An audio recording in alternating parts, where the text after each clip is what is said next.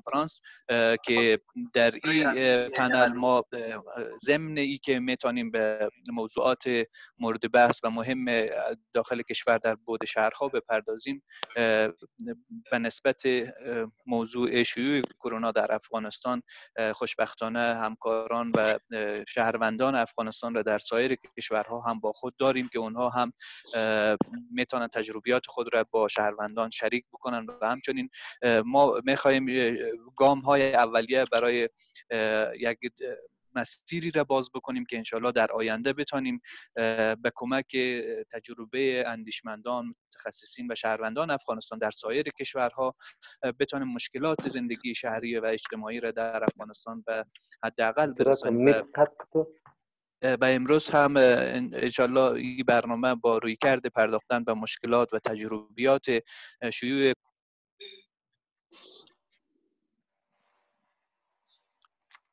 دکتر صاحب اقبال صدای شما قطع شد. دکتر اقبال؟ خواهش می‌کنم. مجدد صدای من بس شد اگر که دوستا بشنون.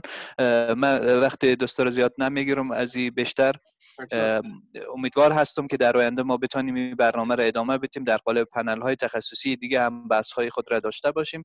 من فرصت را در اختیار دوستا قرار می‌تونم بر اساس مو اعلام برنامه قبلی ما امیدوار هستم که در دو پنل تخصصی ما به شیوع ویروس کرونا در سطح افغانستان و همچنین شریک سازی تجربیات سایر شهروندان افغانستان در کشورهای دیگر را با خود داشته باشیم. سپاس. تشکر دکتر صاحب اقبال. من مجددا عرض خیر مقدم و درود سلام دارم خدمت تمام پنلیست های محترم که از اقصا نقاط دنیا با ما در این پنل آنلاین اشتراک کردند و این گفتمان. گفتمان ما در مورد سطح شهری است و بحث و بحث و گفتمانی که ما دایر کردیم. هم رقم که دکتر صاحب اقبال گفتن برای یک اساسی شک گرفت که قرار بود ما یک کانفرانس داشته باشیم. کانفرانس نگاه نو به شهر با محورهای مختلف. خب بدل ویروس کرونا ما نتونستیم که کنفرانس برگزار بکنیم. در یک ابتکار عالی تر ما آمدیم او را به صورت آنلاین در دنیای مجازی برگزار کردیم و فعلا مهمانایی که در این پنل دعوت هستند از ساعت ده تا دوازده هم همراه ما خواهند بود. برای هر مهمان چیزی در حدود دو تا پنج دقیقه بر اساس فرصتی که هست برایشان فرصت داده میشه که صحبت بکنن. و نظرات خودم در این رابطه در قسمت پنل شهروندان و پیامدهایی که ویروس کرونا در شهرهای کنا زندگی می‌کردن داشته می‌تونه همراه ما شریک بسازم. و در پنل دوم ما ساعت یک تا سه بعد از به وقت کابل او را خواهیم داشت. او بحث متخصصان هست. دکتر صاحبایی که در قسمت کار کردن تجربیاتی که دارن بحث پویش های مردمی است که از نقاط مختلف دنیا افغان هایی که تجربیات پویش مردمی و گروه های کارهای کارهای گروپی و گروهی را دارن همراه ما شریک خواهند کرد. و همچنین در قسمت پیامدهای روانی که ویروس کرونا می‌تونه بر روی جامعه و افراد داشته باشه همراه ما تجربه خود شریک می‌سازه. عالی در قسمت از آقای مسعود قیام که همکار ما هست در برگزاری از این پنل تقاضا می‌کنم که پنل پیش ببره و اگر بتونن یک معرفی مختصر اول از خود و همچنین پنلیست داشته باشه که بسیار عالی. تشکر جناب آقای قیام برنامه را ادامه بدید. تشکر آقای غلامی. من مسعود قیام هستم خبرنگار رادیوی سویدن و از استکهلم با شما در تماس هستم. اول شروع می‌کنیم از معرفی دوستان و به ترتیب سوالات بعدا من مطرح می‌کنم. آقای ولید وحیدی از آمریکا شما بفرمایید اول. اگر اجازه شما باشه به می دوستا قیام شد بگوین که امی صدای خدا قطع کنن. نوبتشان می‌رسه صدای خدا باز آن کنن. این ما میریم صدای خدا تنها صدای خدا چرا که محیط ما کمی آرامتر باشه. درست. مایکتان لطفا خاموش کنین دوستان کسانی که صحبت نمی‌کنن. د لوی او بخونکي خدای په سپېڅلي نامه تر هر څه وړاندې د پنل محترمو غړو ته د کابل ښاروالۍ غړو ته درنګه د دې برنامې لیدونکو ته ټول افغانانو ته د زړه له کومې سلامونه او نیکې هیلې وړاندې کوم دې هیله چې د دغه افت نه به په امان وي. مهرباني. بله. شما در کدام شهر زندگی میکنین و توضیح بدین که چی مقررات وضع شده وضعیت قرنطین چگونه است؟ تجربیات شخصی خود و چشم دیدایتان توضیح بدین. بله. زه د امریکا په شمالي ورجینیا ایالت کې چې د امریکا د پلازمینې واشنگټن ډي سي سره بيخي څیرمه دی دلته ژوند کوم نو لکه څنګه چې تاسو خبر یاستئ تقریبا دوه میاشتې شاوخوا مخکې په امریکا کې لمړنۍ پیښې د کووډ 19 ثبت شولې. په هغه وخت کې دا پیښه دی دلته دومره جدي ونه نیوله که څه هم په ټوله دنیا کې دا په هغه وخت کې دونه جدي ونه نیول شول ځکه موږ تاسو نن د بحران وینو په ایتالیا کې په اسپانیا کې دا رنګ په امریکا کې. کله چې د لمړنۍ نفر قرباني ورک د فبرवरी میاشتې په اخرو کې د موضوع ته د جدي شول او یو بورډ یو ټاک د دې د مرز د کنټرول لپاره چې خپل د امریکا د جمهور معاون د هغه مشري کوي تر اوسه پورې هغه بورډ د کورونا د کنټرول چارې په مخ وړي. دا کورونا وایرس یا کووډ 19 تر اوسه پورې لا د مکمل اسرار خلکو ته نه دي معلوم. نو ځکه هم دلته هم ډیر د دې په حق لبانې معلومات نو اوله کې دی ویل چې ماسک مهم نه دی چې باید خلک واچي اما دغه تیر ورځ دی اعلان وکړ چې ماسک باید ټول واچي ډیر مهم دی. اوس د ماسکو د کمی سره دی په دادومنه ستر اقتصاد او ستر امکاناتو سره مخ دي. حتی ډاکټرانو ته په بازو ځایونو کې ماسکونه نه پیدا کیږي. نو دا هدایت خلکو ته ورک کچیرته ماسک نه پیدا کیږي نو تاسو کولای شئ چې د کور کې جوړ شوی یا هوم میډ ماسک نه استفاده وکړئ یا د څادرونو نه استفاده وکړئ اما ماسک لازمی دی چې ماسک باید واچوي د سي ډیر هغه پر نه دی وځه کړی چې باید حتمان باید واچوي خو خلکو ته ویلي دي چې ماسک واچوي ماسک مهم دی. که هم خلکو د پخوانه ماسکونه استعمالول ځکه خو په بازارونو کې هم دا ماسکونه کم شول او خلاص شول.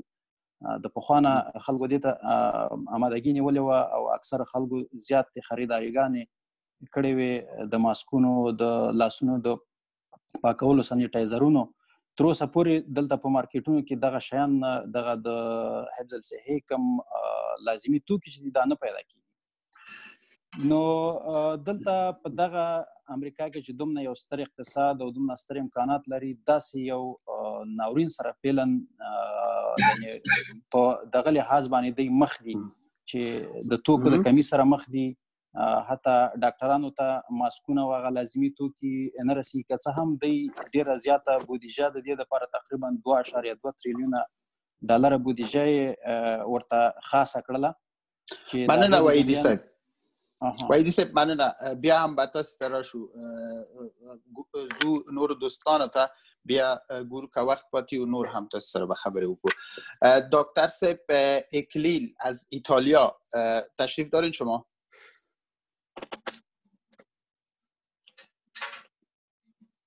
جناب دکتر سب اکلیل بله. سلام. خوش آمدید. سلام به شما. صدای ما دارین؟ بله بله صدایتان دارم. خوش آمدین. تشکر از اینکه حضور دارین در این نشست. ایتالیا یکی از کشورهایی است که کانون کرونا در اروپا به حساب میره و وضعیت تا چند هفته پیش خیلی بد بود. ولی اکنون گفته میشه که آمار افراد که جانشان از دست میده روزانه کاهش یافته. لطفا توضیح بدین که چه اقدامات باعث کاهش آمار مرگ شد. دقیقا. تشکر. به نام یاد خداوند بزرگ و با درود و سلام خدمت هم بینندگانی که از این طریق ما را دنبال می‌کنن. امید همه از نعمت صحت برخوردار و از آفت کرونا در امان باشند عبدالرقیب اکلیل هستم استاد دانشگاه پلیتکنیک کابل و فعلا دانشجوی مقطع دکترای برنامه‌ریزی و جامعه شناسی شهری دانشگاه پدوا کشور ایتالیا. و شهر پدوا هم در شمال شرق ایتالیا موقعیت دارد. بهتر از در ابتدا مراحل شیوع ویروس را در ایتالیا اشاره داشته باشیم که اولین رویداد کووید 19 در اخیر ماه جنوری با آزمایش دو گردشگر چینایی در روم ایتالیا ثبت شد و به تقریب از یکی از شهروندای ایتالیا از واهان چین برگشت که واقع واقع متاسفانه مثبت بود و به می ترتیب سه هفته بعد از از 16 واقعی دیگر در منطقه لمباردی که به سمت شمال ایتالیا موقعیت دارد ثبت شد. در این مرحله 11 شهر این منطقه قرنطین شد ولی متاسفانه در هفته 4 که اوایل ماه مارچ می‌تونیم بگوییم این ویروس به سرتاسر ایتالیا گسترش پیدا کرد و در هفته پنجم تمام کشور به قرنطین رفت. که در این قرنطین عمومی تمام مراکز عمومی و تجمعات مسدود شد مثل مکاتب، مساجد، کلیساها و فروشگاه های بزرگ. و در روزها و هفته های اول گسترش این ویروس خیلی بطی بود. از روز ده نفر و 20 نفر شروع به صد, نفر و 200 نفر و بالاخره به هزارها نفر رسید. و بلندترین آمار در هفته هفتم تقریبا میشه بگوییم که 6557 نفر در یک روز رسید و به می شکل آمار قربانیان هم بلند رفت که حتی جنباخته ها و به 919 نفر در 24 ساعت رسید. و از آیا... ما اگر بگوییم که آیا بله. نقطه اوج شای بیماری در ایتالیا تایی کرده؟ کارشناسا اونجا چی میگن؟ دقیقا قسمی که شما فرمودین آل آمار آهسته آهسته کمتر شده رفته و امی آمار را که من گفتم که 6557 نفر در حقیقت نقطه اوج بود یا مو آمار بلندترین آمار در, در هفته هفتم ثبت شده بود. دانشمند امو رسانه ها همچون یک آمار را گزارش دادن و من فکر می کنم که فیصدی مرگ میرم در حدود 10 الا 11 فیصد در ایتالیا در واقع فیصدی که گفته میشه که در حدود کمتر از یک فیصد است به مراتب بیشتر است. و ما فکر می کنیم که فیصدی در کشورهای اسپانیا و فرانسه و انگلستان هم, هم در درمی حدود است. دلیل مرگ و میر که در ایتالیا صورت گرفت گفتم میشه شکل زندگی است که اونجا وجود داره مردم خانواده ها بیشتر با هم زندگی می‌کنن و تعداد افراد سالمند زیاد است. آیا این مسائل نقش داره در آمار بلند مرگ و میر در ایتالیا؟ دقیقا دقیقا. در ابتدا اکثریت شهروندان درک واقعی از این خطرات ویروس نداشت و دولت هم همچون وضعیت در گذشته تجربه نکرده بود و اصلا فکرم نمی‌کرد.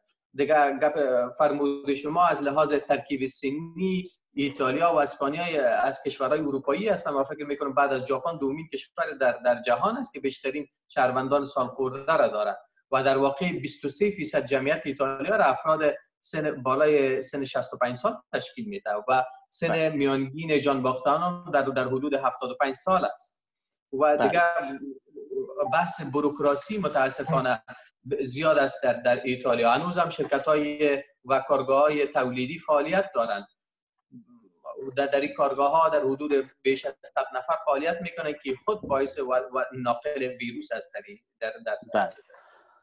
ایتالیا. ممنون. و ممنون. دکتر سبکلی با معذرت وقت بیشتر ما دوباره برمیگردیم با شما. من به دوستای دیگه مراجعه می‌کنم. آقای رضای قاسمی از اسپانیا. سلام بر شما. سلام جناب قیام سید صبحتون بخیر. خوش آمدین. لطفا خود را بیشتر معرفی کنین و در مورد وضعیت اسپانیا هم توضیح بدین. اسپانیا هم یکی از کشورهایی است که بیشترین آسیب به دلیل بیماری کووید 19 در اروپا دیده. بله متاسفانه همونطور است. اول خود معرفی بکنم. نام مرزا قاسمی هست و مقیم در شهر مادرید اسپانیا هستم. ما کارمند سفارت افغانستان در شهر مادرید هستم. به عنوان دیپلمات اینجا کار می‌کنم. و متاسفانه که از روزی که قرنطینه آغاز شده سفارت کارهای به اصطلاح کنسولی و خدمات مردمی خود فعلا به حالت تعلیق در آورده. و ما امروز داخل 24 مین روز قرنطینه میشیم در اسپانیا. آمارها نشان میده که تا هنوز 136 هزار نفر مبتلا هست و مرگ میر هم بالاتر از 13 هزار نفر بالا رفته. و بیشتر اگر ما روی اشتباهاتی که دولت اسپانیا انجام داد چرا اسپانیا فعلا در این شرایط قرار گرفته؟ به نظر ما تا جایی که ما درک کردیم و تحلیل کردیم پنج اشتباه بزرگی را دولت اسپانیا در اول ازش صورت از طرف صورت گرفت که منجر به افزایش و شدت بحران در سرتاسر سر اسپانیا شد. اشتباه اول ای بود که خب در اولین روزهایی که در دوم فوروری بود و اولین موارد ابتلا در شهر مالاگا اسپانیا ثبت شد. دولت اسپانیا بسیار دست کم گرفت. بسیار این موضوع رو بسیار سهل گرفت و صرف همون دو نفر به به حالت قرنطینه در آوردن. دیگه هیچ کدام می‌تونستن مثلا همون شهر کلا در حالت قرنطینه قرار بدن. متاسفانه او کار نکردن و نه تنها این کار نکردن که هیچ گونه تدابیر دیگه را هم متاسفانه روی دست نگرفتن و بینون یک گزارش بسیار معمولی و ساده در در بعض رسانه های اسپانیا نشر شد. و خاطر که مردم اسپانیا هرگز تصور نمی‌کردن که این لشکر کرونا به این شدت بتونه از از هندوستان از ببخشین از چین به این شدت داخل اروپا شود و و صرف اینا نظارگر بودن. به خاطر که ایتالیا وقتی که در قدم سوم بعد از ایران به بحران دچار شد.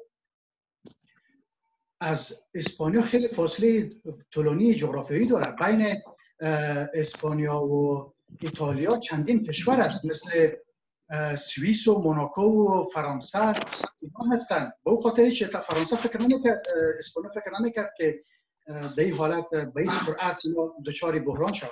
می‌گفتن حداقل شاید تا نوبت اسپانیا برسه شاید بحران بالاخره فروکش کنه یعنی تحلیل و درک به نظرم از از بحران خیلی مهم است که از طرف مردم و به ویژه از طرف دولت مدارا باید این صورت بگیره بله. ببخشین. بفرمایید. موارد را کنوان کردین. کم سریعتر توضیح بدین. چهار مورد دیگه که باقی مانده چون وقت کم است. موضوع دیگه موضوعی بود که به تاریخ 8 مارچ و 11 مارچ طرفدارای تیم اتلتیکو مادرید و یک از تیم‌های دیگه اسپانیا ولنسیا اینا به ایتالیا و بریتانیا سفر کردند در حالی که دو ایتالیا به شدت داخل بحران به سر و موضوع دیگه تجلیل از 8 مارچ بود که بالاتر 350 هزار نفر در سطح سر اسپانیا در جاده ها ریختن و در مکان های شده گرد هم آمدن که گفته میشه که اصل جرقه اصلی تاریخ 8 مارچ در گرد همایی چند صد هزار نفری صورت گرفته. و موضوع دیگه موضوع تاخیر در قرنطینه هست. به خاطر که با این همه مشکلات که اول از تاریخ 2 فوریه شروع شد دولت اسپانیا در تاریخ 14 مارچ یعنی تقریبا 42 روز بعد از اولین موارد اینا قرنطینه را اعلام کردن و چالش هایی را که می‌تونیم نام بگیریم نبود امکانات کافی و آمادگی لازم بود که دولت اسپانیا به خاطر بحران در اختیار می داشت و موضوع دیگه مردم اسپانیا از نگاه فرهنگی زیاد علاقمند ماندن در خانه نیست. اینا از نگاه سنتی مردمی هستن که باید در کافه ها و رستوران ها باید نان چاشت و شب خود باید صرف بکنن. و همچنین در بر تعقیب بحران اقتصادی سال 2009 اینا با یک کاهش کلان بودجه در سکتور خصوصی خود متاسفانه مواجه شدن که بله. تقریبا 6 درصد کاهش بودجه در سکتور رو نشان میده و ممنون آقای قاسمی. و همچنین کمبود امکانات صحی مانند مایع ضد عفونی و ماسک در چیز وجود داره در سطح اسپانیا که دولت اسپانیا گفته که مردم نیاز نداره که ماسک استفاده بکنن که به خاطر که این مواد کلا در قدم اول به شفاخانه ها توزیع میشه بله. بسیار تشکر از توضیحاتتان آقای قاسمی. ما به دکتر صاحب آقا محمد است که در چین هستن مراجعه می‌کنم. دکتر صاحب سلام. سلام و درود خدمت شما حاضرین و تمام کسایی که پنل ما را از طریق live دنبال می‌کنم محمد آقا محمدی هستم. دانشجوی مقطع دکترا در کشور چین البته شهر فوجیو ولایت فوجیان. و همچنان استاد دانشگاه البیرونی خوش آمدین. چین که به اصطلاح منبع شیوع ویروس جدید کرونا بود از ماه دسامبر 2019 که نخستین علائم ظهور ویروس مشاهده شد دچار ای بحران شد و حدودا اگر اشتباه نکنم تا اواسط ماه مارچ به شدت ادامه داشت. وضعیت فعلا گفته میشه تحت کنترل است. ولی همزمان اتهامات وجود داره که مثلا چین متهم به پنهانکاری است در این خصوص. اما مقرراتی که وضع شد به نظر می‌رسه بسیار شدید بود. مقررات قرنطین. در این مورد توضیح بدین. بله دقیقا ما آستانه سال نو چینایی بود. اوایل ماه جنوری ما دعوت شده بودیم به یک شام در دانشگاه ما تمام دانشگاه خارجی دعوت شده بود. و اونجا قبل از او هم بر ما گفته شده بود در صورتی که شما می به دلیل شیوع ویروس ماسک باید بپوشه و اینجا که فاصله را مراعات کنه زمانی که شما اینجا میشینید این تان خوردن. و اونجا بود که یک تعداد زیاد قیودات وضع شد و به نظر ما زندگی که ما اینجا مشخصا در چین داشتم. حداقل اینجا سه عامل بود که ایره تانست این مرض جلوگیری کنه و حداقل از گسترش ازی تا اندازه بکاه و طبعا در اوایل چیزی که گفته می شد یک تعداد پروپاگاندان بود که آمارای زد و نقیز برای میدیا می دادن که اکثر از او به نظر ما و واقعیت نبودن آن تا حده اما خود دولت چین هم چیزی که می گفتند او ارقام و اعدادی که بود ارقام و اعداد دقیقه برای کسی نمی گفتن اما از وضعیت معلوم بود که ما بعضی تماسایی که داشتیم همراه همسنفیا و همکارا با می گفتن که وضعیت خیلی خراب است و به هر صورت بله. اقدام شدید برای به سه اقدام اشاره کردین. چی اقدامات بود که گفتین باعث کنترل وضعیت شد؟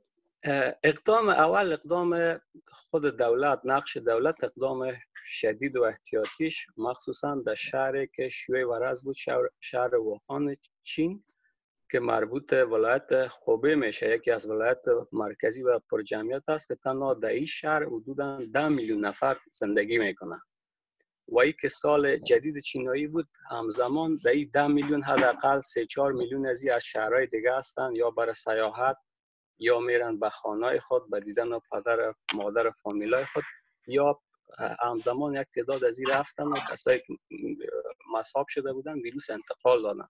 زمانی که دولت دید وضعیت خراب است اینجا تمام راه های ورودی و خروجی را در شهر ووهان چین بند ساخت. برای کسی اجازه از این نداد که دیگه از این شهر خارج شوند و نقش دولت دهی بسیار ارزنده بود که از عبور مرور جلوگیری کرد و به می طریق بر مردم همیشه توصیه می‌کرد که در صورتی که در خانه تان باشه از خانه بیرون نره و در صورت ضرورت اگر شما بیرون میره از ماسک همیشه استفاده کنید. پوشیدن ماسک جبری ساخت و هر بار که زمانی که شما خانه می دو یا سه بار دستتان با آب با آب و بشویه و ضد عفونی کنیم. و در تمام قسمت ها در کوچا شهر و دروازه ورودی شویه check point ها را انداختن و توسط ترمامتر تب همگی را چک می‌کنن. در صورت که کسی تب بالا می داشت مستقیم کارمندای صحی بودن و ای را می بردن به مراکز صحی انتقال می دادن و ادلارسانی بسیار به شکل دقیق و مجانبه با مردم صورت می گرفت ما شاهد بودیم که در خانه ما می بودیم. در در سرک یک تعداد کسا بودن از طریق لاسپیکر. و بر مردم آگاهی می‌دادند بله. درباره از این ویروس و همچنان همه روزه ما مسیجا دریافت می‌کردیم. درباره از این مرض که شما کدام تدابیر باید در نظر بگیرید و او تجهیزات دیگه شفاخانه اداز شد و, گپ دوم همکاری همه جانبه مردم و تمکین مردم به قوانین مبارزه با ویروس که بسیار یک گپ عمده و اساسی بود. ببخشید. با جناب دکتر با دوستانی که اینجا حضور دارن در این نشست لطفا اگر صحبت نمی‌کنین مایکتان خاموش کنین که صدای محیط وارد پخش آنلاین نشه. بفرمایید کوتاه فقط. بله. کامنت بدم ما پنلیست های ما در هم صحبت می‌کنه تعداد پنلیست های ما 25 پنلیست است تا بله. دیروز دوازده پنلیست همراه ما اوکی شدن و اونا صحبت می‌کنن. مابقی دوستایی که در این در این پلتفرم همراه ما شریک هستند فقط به عنوان اشتراک کننده هستند و خدمت کلگشان از آقای بهزاد قیاسی علی جان روزی دوستایی که اینجا من می‌شناسم خیر مقدم میگم ولی پانلیست های ما کسایی هستند که مطابق اون پروسیجری که ما جور کردیم و به توافق رسیدیم اونا میان اینجا صحبت می‌کنن. یک یک یک یک کامنت دیگه هم بدم که دو دقیقه هر کس از پنلیست های ما می‌تونن اشتراک اشتراک کننده و پنلیست های ما صحبت بکنن. از دو دقیقه بیشتر نه. آقای قیام امیر رعایت بکنید چون وقت ما کم از ساعت دو نیم بجه است. درست درست 25 پنلیست داریم و به ترتیب پیش میریم از آقای ممنون از آقای آقا محمد. آقای یاسر هاشمی شما بفرمایید از جرمنی. با سلام روز بخیر خدمت دوستان. یاسر هاشمی هستم از جرمنی ایالت نور وستفالن شهر کلن همونطور که مثل بقیه کشورها مثل بقیه کشورها آلمان اولین قدمی که در رابطه با مقابله با کرونا برداشت این بود که تعطیلی تمام مراکز عمومی هم از مدرسه ها رستورانت ها و مهد کودک ها و هر جایی که می‌شد تجمع باشه. کلا همه تعطیل شد. بعد از اون همونطور که می‌دونید آلمان کشور ایالتیه. یک سری قوانین که توسط دولت مرکزی وضع شد. بعد در راستای او قوانین هر ایالت هم می‌تونن چیزای در راستای اون قوانین می‌تونن مقررات خودم وضع کنن. یک محدودیت های در نظر بگیرن. بعد از محدودیت هایی که در نظر گرفته شد مخصوصا در شهر کل در شهر کل ای بود که تجمعی بیشتر از دو نفر ممنوع شد. بعد حتی جریمه های در نظر گرفته شد بین 250 یورو تا 25 هزار یورو. و تمام باشگاه ها تمام مکان های تفریحی و ورزشی همه از یک دم بسته شد. بعد چیزی که چیزی که به شدت رعایت میشه از سمت مردم رعایت فاصله یک الی دو متری بین همدیگه. مثلا در سوپرمارکت ها از بلندگو ها اعلام میشه توسط خود مسئولین سوپرمارکت ها گوشزد میشه که فاصله یک متر الی دو متر رعایت کنن بله. تشکر تشکر آقای یاسر هاشمی. وقت همونطور گفتیم کم است یکی دو مورد لطفا دوستا مهمترین موارد عنوان کنین و از توضیح کل وضعیت خودداری کنین لطفا. میریم بعد طرف آقای سید منصور از فرانسه. آقای سید منصور سلام. سلام آقای قیام. به شما به تمام panelist هایی که اینجا حضور دارن و تمام کسایی که ما را از طریق فیسبوک live و دیگر شبکه های اجتماعی می‌بینن. صدای است؟ بله بله صدایتون میشنیم شما در کدام شهر فرانسه زندگی می‌کنید؟ سید منصور هستم سید منصور عظیم. ما در شهر کان در شمال غرب فرانسه زندگی می‌کنم. از رشته زراعت محیط زیست از دانشگاه ملی فرانسه فارغ شدیم و فعلا هم کار می‌کنم در این بخش. بله. وضعیت در فرانسه چگونه است و چه تدابیر در نظر گرفته شده برای کنترل شیوع ویروس کرونا؟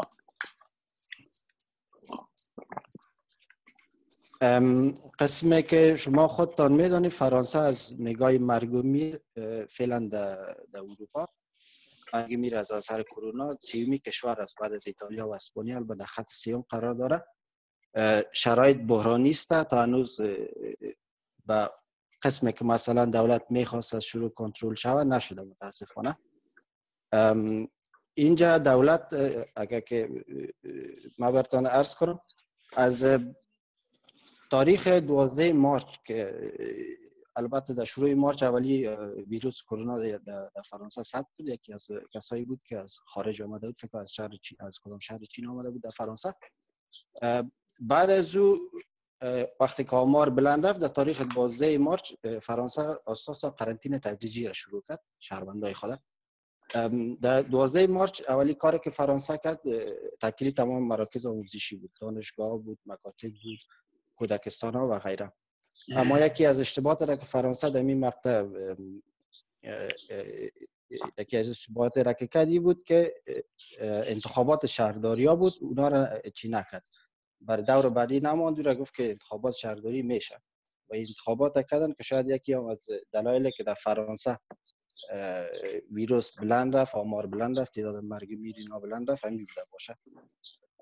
بعد از او دو روز بعدش چون آمار بلند رفته می‌رفت. دولت کنترل کرده. نمی‌تونست دولت خواهش کرد که تمام مراکز تجارتی بسته شه. البته بغیر از مراکز مواد که مواد غذایی میفروشند تانکار تیل مثلا بانک یا بعض خدمات ضروری دیگه دیگه مراکز بسته شد و از مردم خواسته شد که اینا در خانه خود بانند یکی دو روز بعد از او باز دولت تدابیر گرفت چون یکی داد مردم هم حرف ناشنوی کردن و بیرون رفتن و شرط قرنطینه رفتن. اینا بله. ممنون. مرات نکردن. آقای منصور ممنون. تشکر از توضیحاتتان. این نکته که قرنطین به صورت تدریجی در فرانسه تطبیق شد موضوع است که در بسیاری از کشورهای اروپایی چنین عمل کردن. دکتر سب باتول از ایران سلام بر شما. خوش آمدین. سلام خدمت شما. خوشحال هستم که در خدمت شما بزرگواران هستم. بفرمایید لطفا بگین کدام شهر زندگی می‌کنین خود را معرفی کنین. من بطول سید حیدری هستم. در شهر ایران در کشور ایران و در شهر اصفهان زندگی می‌کنم. وضعیت در ایران پس از چین بسیار بحرانی تعریف میشه. لطفا در مورد چند اشتباه و اقداماتی که در اونجا انجام میفته توضیح بدین. صحبت هایتان هرچی فشرده باشه ممنون میشیم. باشه چشمت من با سرعت هم صحبت می‌کنم و تکرار صحبت های دوستان و اقداماتی کشورهای دیگه انجام دادن و شبیه هم دیگه است تکرار نمی‌کنم. شما همطور که اشاره کردید کشور ایران بعد از چین بالاترین آمار را داره. همین الان که من خدمت شما هستم. مبتلایان در بیماری 58226 نفر هستند که 3063 نفر از اینا فوت کردن. و 22011 نفر از اینها بهبود پیدا کردن. متاسفانه شما که می‌دانید ایران یکی از کشورهای مذهبی هست و مردم خب خیلی باورمند به اعتقاد دارن به مراکزهای مذهبی. چیزی که در ایران برای بار اول که اتفاق افتاد وقتی کرونا در شهر قم پیش آمد و واقعا ما شاهد از بودیم که مسئولین و مقاماتی کشور ایران دست شدن و مانده بودن که با این اقدام چه کار بکنن شهر قم یک شهر بسیار مذهبی بود و مردم هم این باور نمی‌تونستن بکنن که مراکز دینی مثل حرم حضرت معصومه و حرم حضرت امام رضا بسته بشه. و خب کرونا جدی بود و ویروس یک ویروسی بود که داشت به سرعت شیوع پیدا می‌کرد و اینها مقامات بالاخره با تمام اعتراض های کسانی که بالاخره این مسئله رو جدی نمی گرفتن مقاومت کردن و زمانی که مراکز دینی بسته شد و حسینیه ها و مساجد و تجمعات مذهبی کاملا بسته شد اون وقت بود که مردم اکثرا جدی گرفتن و در خانه ها ماندن و بعد سطح آگاهی دهی از طریق رسانه ها با بسته شدن دانشگاه ها و مدارس و غیره بالا رفت. خانم بله. دکتر شما میشه تش... از مورد تجربیاتی که در بخش روانشناسی دارید شما خود یک روانشناس قهار هم هستید دکترای روانشناسی در این قسمت بگید که چه تاثیراتی داره و چطوری یک تجربه را همراه ما شریک بسازید که این استرسی که خود بیماری میاره مصاب شدن یا قبل از او یا بعد از او تاثیراتی می‌ذاره و که همین ما استرس بتونیم کم بکنیم. یعنی ببینید تشکر استاد بزرگوار. ببینید ما کلا این مسئله با سه با سه مورد روبرو میشن کشورها. یکی قبل از بحران و یکی حین بحران و یکی بعد از بحران هست. تمام دولت ها تا کنون برای قبل از بحران آمادگی نداشتن و همه در وسط بیماری با این پدیده روبرو شدن و متاسفانه تمام مردم دنیا فرقی نمی‌کنه در امریکا باشه در ایران باشه در افغانستان باشه دو گروه تقسیم می‌شدن. گروهی که این مسئله رو هیچ انگاری می‌کردن دستی کم می‌گرفتن رشخند می‌کردن و گروه دیگه که بسیار میترسیدن و اونهایی که ترسیده بودن زمینه های بیماری های روانی داشتن این بیماری هاشان بیشتر می‌شد. و این کم انگاری و هیچ انگاری باعث می‌شد که ابتلایان به این بیماری بیشتر بیشتر باشه و کسانی هم که حراس و ترس در زمین داشتن مانده بودن که به چه نحوی خودشان پیدا بکنن و وسواس ها شستشوهای اینا بسیار زیادتر می‌شد و باعث می‌شد که حتی ما این مسئله رو پیش بینی کنیم که اگر زمانی که این ویروس کاملا برچیده شد مراجعین به مراکز روانی هم افزایش پیدا بکنن. اقدامات خیلی خوبی را که در ایران مشاهد بودم این بود که تمام مراکزی که روانشناس کار می‌کردن به صورت رایگان اینها مجبور شدن البته کردن که خدمات روانشناسی را به مردم ارائه بکنن. کسانی که احساس ترس می‌کنن حراس دارن که چه اتفاق افتاده با این مراکز تماس بگیرن و اینها خدمات مشاوره را و خدمات روانشناسی را برای آدمایی که خودشان فکر می‌کنن مشکوک به کرونا هستن و یا اینکه ترسیدن شریک کنن. ممنون. جناب دکتر سیب. بفرمایید. به خاطر که استاد بزرگوار گفتن که تکرار تکرار صحبت ها نشود برای همین یک ذره با سرعت صحبت کردیم و از صحبت های تکراری جلو من لیست پنلیست ها را می‌خوانم که عرض خوش آمدید مجدد برایشان پرویز سمیم از اندونزیا وحید اسکر از استرالیا مسعود قیام که همکار ما هستند سوفیا صاحب از ژاپن معروف خالد از بلژیک رضا قاسمی حسن مالستانی نعیم منصور رقیب اکیل سید منصور ولید صافی کیهان بارگزی اسماعیل شهامت عبدالحمید منیر علی لایقی محمد آقا محمدی ناصر خالدی بطول سید حیدری. این لیست پنلیست های ما هستند و باز هم بهشان خوش آمدید می‌گوییم. جناب آقای قیام ادامه بدید. ممنون. قبل از اینکه با مهمان بعدی برم یکی از مواردی که باید گفت تبصرهایی وجود داره که پنهانکاری در برخی کشورها مثلا چین و ایران هم باعث گسترش ویروس شده. بسیار مهم است که دولت ها با این مسئله شفاف عمل کنند. میرم به طرف دکتر سب ایرج نظامی از انگلستان. دکتر سب سلام.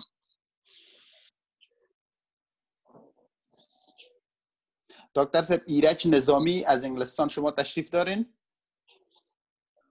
فکر می‌کنم اونا غیر حاضر هستن. آه. به نظر می‌رسه دکتر سب نظامی نیستن. دکتر سب کیهان بارگزی از ترکیه. سلام بر شما.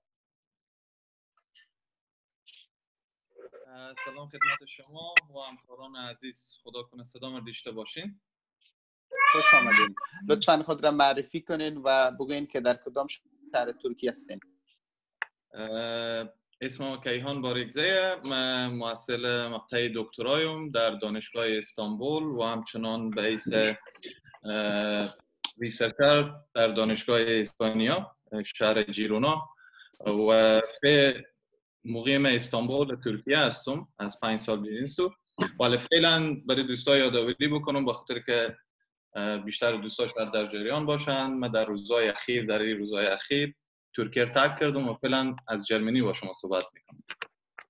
بله شما از در چند هفته آخر ترکیه را ترک گفتین.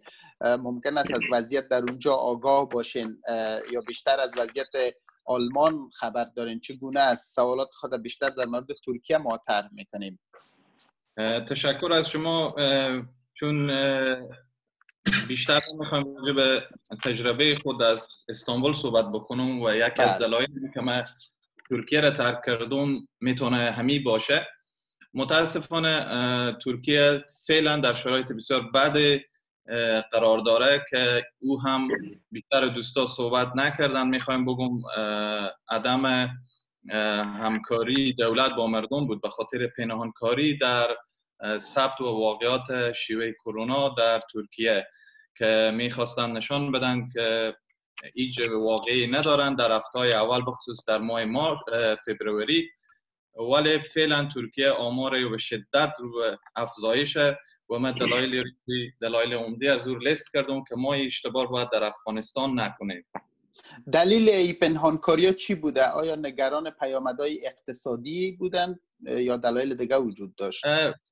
دلایل از این اولا که در ماه فبروری اگر در جریان باشیم ترکیه در لیست کشورهای قرار گرفت در اول لیست کشورهایی که تانسته خود ویروس کرونا را کنترل بکنه و یک دستاورد سیاسی می‌تونه برای حزب حاکم در ترکیه باشه و یکی از دلایل عمده می‌تونه بوده باشه. ولی بعدا نظر به اینکه شیوه ویروس کرونا در اروپا به بسیار شدت افزایش پیدا کرد اقدامات اولی ترکیه بستن مرز با چین و ایران بود که در ابتدا در ماه فبروری اتفاق افتاد. ولی اقدامات جدی ترکیه از تاریخ 16 مارچ شروع شد. با بستن مراکز تعلیمی دانشگاه ها و تمام مراکز عمومی که می‌تونست مردم یک جا جمع بکنه. بله. ولی باز هم چیزی که نقطه جالبیه که در ترکیه آمار بیش از سی هزار نفر رسیده ولی هنوز قرنطین عمومی اعلان نشده. فقط قرنطین برای کسای زیر 20 سال و بالای 65 سال اتفاق افتاده. یعنی اونها اجازه بیرون شدن از خانه را ندارن و اگر بیرون شوند با جریمه نقدی و یا برخورد پلیس روبرو میشن. ولی بله. دکتر سب دکتر سب باید به دوستای دیگه مراجعه کنیم. اگر موارد دیگه سریع توضیح بدین لطفا. اقدامات عمده کشور ترکیه فرستادن ماسک رایگانه و تمام شهروندان ترکیه و خارجایی که در اونجا زندگی می‌کنن از طریق پست هفته پنج تا به دم خانه می‌رسه و اجازه خرید شما از مراکز درمانی ندارین. قرنطین عمومی اعلان نشده. هنوز مردم از ترانسپورت عمومی استفاده می‌کنن. این نقاط عمده که بله. می‌تونه بله. بسیار خطرناک باشه برای ترکیه. ممنون. ممنون دکتر بارگزای از توضیحاتتان این نکته که فروش ماسک در ترکیه ممنوع شده و فقط رایگان توضیح میشه جالب است. لطفا مایکتان خاموش کنین دوستایی که در پنل حضور دارین اگر صحبت نمی‌کنین. آقای علی لایقی از سویدن سلام بر شما. سلام مونده نباشین. سلام. وضعیت سویدن رو توضیح بدین شما که چگونه است. و خود را معرفی کنین که در کدام شهر هستین. بله. علی لایقی هستم. عکاس و مستندساز. من استان دالانا زندگی می‌کنم. شاید تجربه من با دیگه دوستا فرق داشته باشه. چون من به یک چی میگن؟ به یک جامعه کوچکتر و شهر کوچکتر زندگی می‌کنم. در مورد در, در مورد سویدن باید ارز کنیم که سویدن هنوز مثل دیگه کشور کاملا یک روش کاملا متفاوت در پیش گرفته. در سویدن 7200 نفر تا ما مبتلا داشتیم و 400 نفر حدود 400 نفر فوت شده. سویدن داره فعلا هنوز او قرنطینه یا خانه نشینی که دیگه کشورها اعمال کرده نکرده. البته دیگه کشورها به ترتیب به مرور زمانی کار انجام دادن. سویدن هم شاید بعدنا چی کنه. چون دولت سویدن کاملا همه چیز شفاف هر روز هر هر, هر روز کنفرانس خبری می‌گذاره و همه چیز دستورات از وزارت صحت می‌گیره. با که یکم مردم در مورد وزارت صحت شک داره اما چیز دارن اعتراض دارن که قرنطینه نکرده. عده کمی از مردم. ولی مردم اعتماد خیلی بالای به دولت خود دارن و همیشه شده که مردم اطمینان خاطر خیلی زیاد دارن به دولت و صحت عامه خو و بیمارستان ها خو. به خاطر زیاد استرس و او چیزی که در دیگه کشورها ما می‌بینیم به اصلا شاهد بله. راحت همه جا زندگی عادی خود پیش می‌برن بله. مکتب ها در سویدن تا صنف نهم تعطیل نشدن و مقامات سویدی گفتن که قرنطین در واقع این مشکل به تعویق مندازه به عقب مندازه نه ای که مشکل حل می‌کنه. انتقادهایی هم در مورد رفتارهایشون وجود داره. در این مورد توضیح بدین. مکتب مکتبا کلا تا سنف نه بسته نشده. چون دولت سویدن میگه اگه مکتبا بسته کنیم بعد مادر پدران به خونه داخل خونه بشینن. به خاطر اینا مدرسه ها بسته نکردن. اما ای که قرنطین میگه وقت کنه؟ اکثر مردم اطمینان دارن به دولت. خود مردم سویدن اکثرا اطمینان دارن به که دولت هر روز از وزارت صحت چیز می‌گیره به حساب برنامه می‌گیره. به خاطر اینا خیلی اطمینان خاطر دارن. اما عده خیلی کم از مردم اعتراض دارن به خاطر از اینکه مخصوصا بعضی از دکترها در تلویزیون اینا می‌بینی اعتراض دارن میگن که هنوز قرنطینه یا او چیزی که مثل دیگه کشورها جدی گرفته شده باشه به سویدن جدی گرفته نشده. به این خاطر اونا ترس حراس دارن که بعدنا اتفاق خیلی ناگواره مثل ایتالیا یا ایران یا یک کشور دیگه به سویدن هم تکرار بشه. ترس حراس مردم ازیه. ممنون آقای لایقی از توضیحاتتان. آقای معروف خالد از بلژیم سلام بر شما خوش آمدین. آقای معروف خالد. سلام خدمت شما آقای قیام و دوستای عزیز. سلام. مختصر اقداماتی که اینجا در بلژیک روی دست گرفته شده خدمت شما عرض می‌کنم و امیدوار هستم اما کوشش می‌کنم که بسیار مختصر اشاره کنم به اون موارد. اکثرا موضوعات دوستا اشاره داشتن. بلژیک کشوری است که با وصف که اقداماتی را روی دست گرفت هنوز هم حدود 21 هزار نفر مصاب داره و ویروس کرونا و از او جمله تقریبا اضافه تر از 1600 کشته داشته و بیشتر از 4000 نفر هم اینا چیز شدن شفایاب شدن و مرخص شدن از شفاخانه ها ما به شهر کناک هیست در ولایت وست فلاندرین زندگی می‌کنم و چیزی که ما متفاوت یافتم در اینجا و می‌خوایم امرای شما شریک بسازیم است که با واسه که دولت اینجا دولت فدرال است اما شهرداری شهر ما پیش از اینکه دولت فدرال تصمیم بگیره و قرنطینه اینا خودشان وارد عمل شدن و یک روز پیش از اینکه دولت در مجموع قرنطینه اعلان کنه اینا بی شهرداری کناک هست شهری که من زندگی می‌کنم قرنطینه اعلان کردن و با یک تفاوتی که قرنطینه عمومی نبود یک تفاوت آنچنانی که مثلا تیپی که در ایتالیا یا دیگر کشورهایی که صورت گرفت نبود و هنوز هم قسم نیست. و اینا در مرحله اول مکاتب جای مکانهای ورزشی و تفریحی را بسته کردن و از اینکه من به شهرداری شهر کناک هیست کار می‌کنم چند چیزی را که شهرداری در خود در سطح شهرداری من نظر گرفتن و می‌تونه در افغانستان هم ازش استفاده شود ما خدمت شما اشاره می‌کنم. و است که اینا در قدم اول در سطح شهرداری زیادتر توجهشان به کارمندای تنظیف که بسیار زیاد متضرر می‌تونن باشن از این ویروس.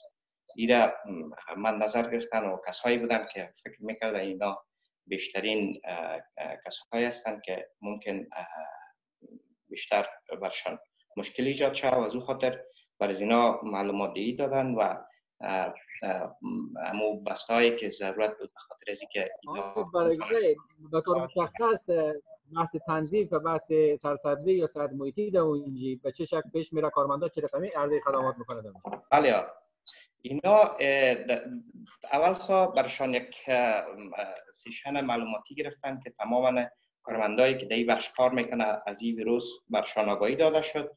و اینا برشان امو ابزاری که ضرورت است مثلا دسکش و ماسک و دیگر می زده مایه زدفونی بر تمامشان داده شد اینا مقرر از او استفاده کنند و فراتر از او کسایی که سنشان بالاتر بود بر از اونا رخصتی داده شد که اونا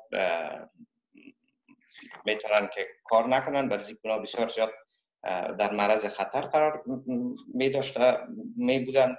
از او خاطر اونا را رخصت ساختن و چیز دیگه که بسیار مهم بودی که رس امی آسایشگاه سالمندا ایران مکمل بسته ساختن رفت و آمد به اونجا را بند ساختن دیگه از موارد دیگه که بسیار مهم است در قسمت کارمندای سی بسیار زیاد توجه کردن که اونا باید چون کسایی هستن که در خط مقدم از این بله.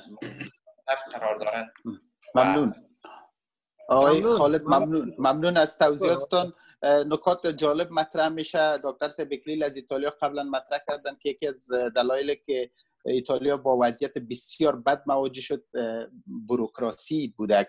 و نکته را که جناب خالد مطرح کرد استقلال عمل شهرداری و ای که واکنش سریع نسبت به مشکلات و شرایطی که در یک حوزه خاص وجود داره نشان میدن ای باعث حل مشکل میشه. جناب احمد جواد نجرابی از هالند سلام بر شما.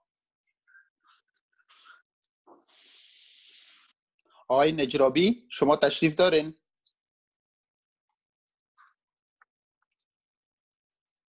آقای نجرابی از هالند. نجرابی آقای نجرابی نجرابی صاحب فکر می‌کنم. حضور بله سلام علیکم. صدایشان نمیشنم بله آل صدا بله سلام علیکم. سلام بر شما. سلام و احترامات خدمت همه دوستای عزیز. تشکر از معلومات بسیار خوب شما دوستا و تشکر می‌کنم از گرداننده های برنامه. ما در کشور هلند شهر نیمیخن زندگی می‌کنم. اینجا دولت هلند اولین اقداماتی را که گرفتن اینا قرنطین کردن شهرها را. و و اینا خوبی از اینا از بود که از سطح بسیار پایین شروع کردن. یعنی اجتماعات در قدم اول ممنوع قرار دادن که اجتماعاتی که از 100 نفر اضافه شد. این اولین اقداماتشان بود که اینا روی دست گرفتن.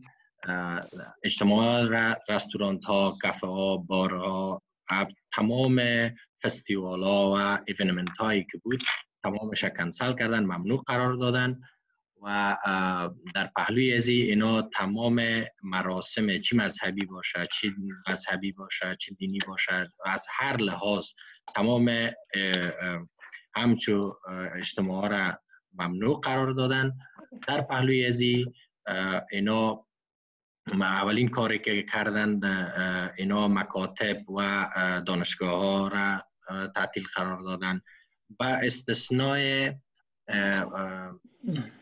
امو شغل های حیاتی اینا برشان میگن که دکتر هستن نرس هستن و, و تنها چیزی که اون اینا اعلان کردن که باز باشه و در دسترس مردم باشه تنها سوپرمارکت ها بودن و به خاطر از که بتانن مردم جلوگیری کنن از شیوع از ویروس قوانینی را در سوپرمارکت ها ایجاد کردن. در تمام سوپرمارکت ها عملا علامات گذاشتن علامات فاصله ها ایجاد کردن در مقابل cashier هایی که میرین. موانع یا گیلاس ها پیش ریشان چی کردن جور کردن. بر نحوی هم فاصله ای را که فاصله اجتماعی. فاصله فاصله ای را که همی expert ها به advice کردن همیشه مراعات کردن. بله. جناب نجرابی وقت ما بسیار کم است حالا ساعت ده به وقت افغانستان است. ما می‌خوایم از آقای یقین و غلامی بپرسیم که اگر نیم ساعت دیگه وقت داشته باشیم می‌تونیم به تمام پنالستا برسیم. وقت چگونه است آقای یقین؟ مسعود خیام ما خب با کپتان داریم مشکل نیست. ما می‌تونیم که هیچ مشکلی نیست. تا دو بجه ما بکپ داریم درست. آقای غلامی پس ادامه میدیم تا نیم ساعت دیگه. انشالله صحبت ها تمام میشه. درست است. ما ادامه میدیم اجازه آقای غلامی. ادامه میدیم ادامه میدیم. درست است. آقای غلامی. جانم.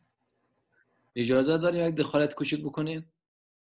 بفرمایید بفرمایید. فقط یک موضوعی که اون چین دوستان نظر دادن شریک کردن معلومات خوب و معلومات عمومی بود. در شروع برنامه دکتر بسیر خیلی خوب بحث کردن که گفتن که افغانستان فعلا در شروع است. اگر لطف کنن مثل آقای معروف خالد یک راهنمایی خیلی خوب کرد که ما در افغانستان چیکار کرده می‌تونیم. ما فعلا در افغانستان بله. هستیم و با این ویروس مبارزه می‌کنیم در حال جنگیم. و دوستایی که تجربه های کشورهای دیگر رو دارن اگر لطف کنن فقط در آخر بعد از یک معلومات میدن با ما بگوین که ما در افغانستان چی کار کنیم می‌تونیم. کدام تجربه به نظر از اینا چون اینا در افغانستان بودن افغانستان زندگی کردن افغانستانی هستن و فعلا او تجربه رو در اونجا دارن.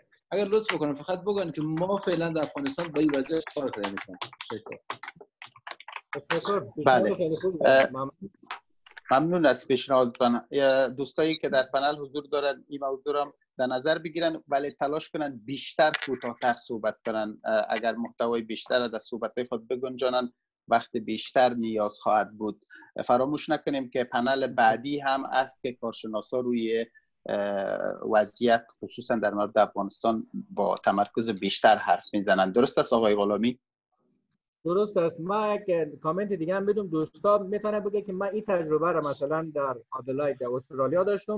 این تجربه با, با شرایطی که در افغانستان دارم خیلی مطابقت داره. میشه که این در افغانستان هم تطبیق بکنه. این موضوعاتی که مربوط به افغانستان باشه. مثلا خیلی موضوع خیلی خوبی رو در قسمت کارمندا گفتن در قسمت کارمندای تنظیم گفتن این موضوعات با ما شیر بکنن تجربیاتی که به درد افغانستان می‌خوره بیشتر با ما شریک بسازن ما از طریق بسیار می‌تونیم استفاده بکنیم. آقای قیام ادامه بدید. بله. میریم به طرف صحبت های آقای نصیر خالد از کانادا. سلام بر شما آقای خالد.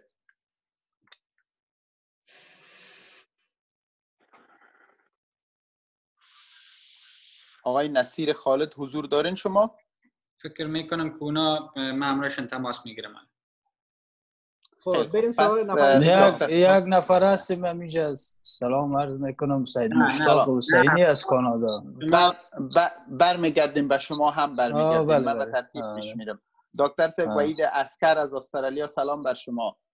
سلام خدمت شما آقای قیام خوب هستین؟ خوش آمدین. سلام خدمت همه پانلیستا و محترم های کمیل لحظه ما رو می‌بینن سلامت باشین. بفرمایین بیشتر خود را معرفی کنین و در ادامه سوال می‌کنم هستم بفرمایید ما استاد در فاکولته مهندسی و شهرسازی یکی از های شهر ملبورن استرالیا هستم و خود ما مهندس هستم. وضعیت شیوع ویروس جدید کرونا در استرالیا چگونه است توضیح بدین چه اقدامات در نظر گرفته شده شدت قرنطین در چه حد است؟ دولت استرالیا نظر به تمام ممالک اروپایی خیلی سریع و جدی عمل کردن سه مرحله قرنطینه اینا واسه کردن اول تمام سرادات بسته کردن بعدا سرادات بین ایالات ایالات استرالیا بسته شد. بعدا قرنطینه عمومی اعلان شد که تمام مکاتب و پانتونا و دفاتر. همشون در خانه قرنطین شدن و نظر به ممالک اروپایی اینا خیلی زودتر و سریعتر اقدام کردن که تعداد مبتلا با مرض کرونا خیلی کم است. نظر به ممالک اروپایی و تلفات بسیار کم است. چون اینا بله. جدی, جدی, جدی و خیلی سریع بعضی از قواعد معرفی کردن که باعث رشد از این ویروس شد. بله استرالیا با دو بحران جدی مواجه شد آتش سوزی گسترده در جنگلات و متعاقبا ویروس شیوع ویروس کرونا. همونطور که اشاره شد دوستا در پنل گفتن پیشنهادات که میشه برای افغانستان در نظر گرفت هر کشور بر اساس شرایط خود می‌تونه اقدامات انجام بده. به نظرتون چه مسائل است که با شناخت که شما از استرالیا و افغانستان دارین میشه مد نظر گرفت در افغانستان؟ یکی دیگه آقای کم که فعلا تمام پابلیک سرویسز اینا میگن برای انگلیسی که فکر کنم خدمات عامه میشه بدری اینا فقط می‌تونن که بیرون باشن بیرون برن که من جمله قوای نظامی است قوای نظامی استرالیا و پلیس. اینا در تمام شهرها میگردن گشت گذار دارن و باعث شکستندن بگویم یا تقسیم کردن مردم یا یک مجموعه میشن که اینا اجازه نمیدن که از دو نفر زیادتر گشت گذار بکنن. و نظر بر شرایطی که ما اینجا می‌بینیم خب استرالیا هم خیلی شهرهای بزرگ و پرنفوذ دارن. مثل کابل فکر کنم که شرایط خیلی جدی که پلیس و نظامی ها در کابل هم براین و امی شرایط قیودات که فعلا در استرالیا وضع شده اینا وضع بکنن از پخش ویروس کرونا و مبتلا ساختن بسیاری از وطندارای ما جدی چیز میشه یعنی stop میشه. مبتلا نمیشن به تکلیف. بسیار کشنده و خطرناک. ممنون دکتر سبسکر از توضیحاتتان. آقای دکتر صاحب نعیم منصور از مالزیا سلام بر شما. سلام علیکم. درود خدمت تمام تمام کسانی که در پنل بیننده هستند و کسایی که ما را live می‌بینن. سلام خدمتشان عرض می‌کنم. ما محمد نعیم منصور یکی از دانشجوهای مقطع ماستری دانشگاه اسلامی مالزیا هستم. در شهر کوانتن ایالت پهنگ زندگی می‌کنم. چیزایی را که خلاص تمام گپا را دوستا گفتن چیزایی است که اما هدایاتی است که WHO به تمام جهان صادر کرده. تمامش در تمام جهان از پیروی میشه. چیزای خاصی که در مالزیا مطابقت داره با کشور ما و از میشه که در کشور ما استفاده شود. چند مسئله رو میفهم ما بسیار مختصر بهتان بیان کنم. بله. اول اولین چیزی که اینجا شیوع مرض صورت گرفت شیوع مرض از اجتماعات کسایی که عقیده هستند خصوصا مسلمان اینجا به نام جماعت تبلیغ یک نشست چند صد نفری چند هزار نفری را دایر کردن. که اولین مرض کرونا یا ویروس کرونا از اونمون جماعت صورت گرفت در یک روز در حدود 600 نفر مصاب شد. و دوم مکانی که از اون شیوع بیشتر صورت گرفت کسایی که بودن عیسوی بودن از کپش از از از از چرت از اونجا شیوع پیدا کرد. این دو گپ در افغانستان بسیار سخت می‌تونه که بسیار رو جدی بگیرن. و از عقاید یا از سوء تفاهم عقیده‌ای باید جلوگیری شود یک مسئله مسئله دوم چون کشور مالزیا یک کشوری است فدرالی چندین ایالت داره ایالت های پولدار داره و ایالت های غریب داره که بسیار همخوانی داره با کشور ما. او جایی که کلسترهای امی ویروس کشف شد یعنی شیوع بیشتر بیماری در اوجا بیشتر بود. در اوجا محدودیت ها را بیشتر ساختن. مثلا در جایی که کل اولین cluster پیدا شد در اوجا محدودیت 5 کیلومتری را یک شعاع 5 کیلومتری را چهار طرف از او ایجاد کردن که هیچ گونه نه وارد شدن و نه خارج شدن از اون منطقه را اجازه می‌داد. که تمام کسایی که در او ساحه بودن یا screening شدن کسایی که مشکوک بودن و کسایی که مصاب بودن از اینجا گرفته شدن و در شفاخانه ها بستری شدن. بسیار یک اقدام ملی بود که این می‌تونه در افغانستان هم یک اقدام باشه چون کشور ما به یک مسئله. دوم انتقال یا مسافرینه که از مراکز بزرگی که پر جمعیت است به شهرهایی که کم جمعیت است یا به دهات می‌رفتن. و این اقدام بسیار خوب و موثر این گرفتن که کسایی که می‌خوای به دهات بره یگانه راه انتقالش انتقال دولتی است. یعنی تمام اما transportation ایره که دولت به یا اجازه میده اجازه ورود به مناطق داشت که دیگه موترها خصوصا موترهای بزرگ خصوصا موترهایی که پر جمعیت باشه از 303 و گفته مردم یا کوچا تنها از طریق دولت یا انتقال پیدا می‌کنه.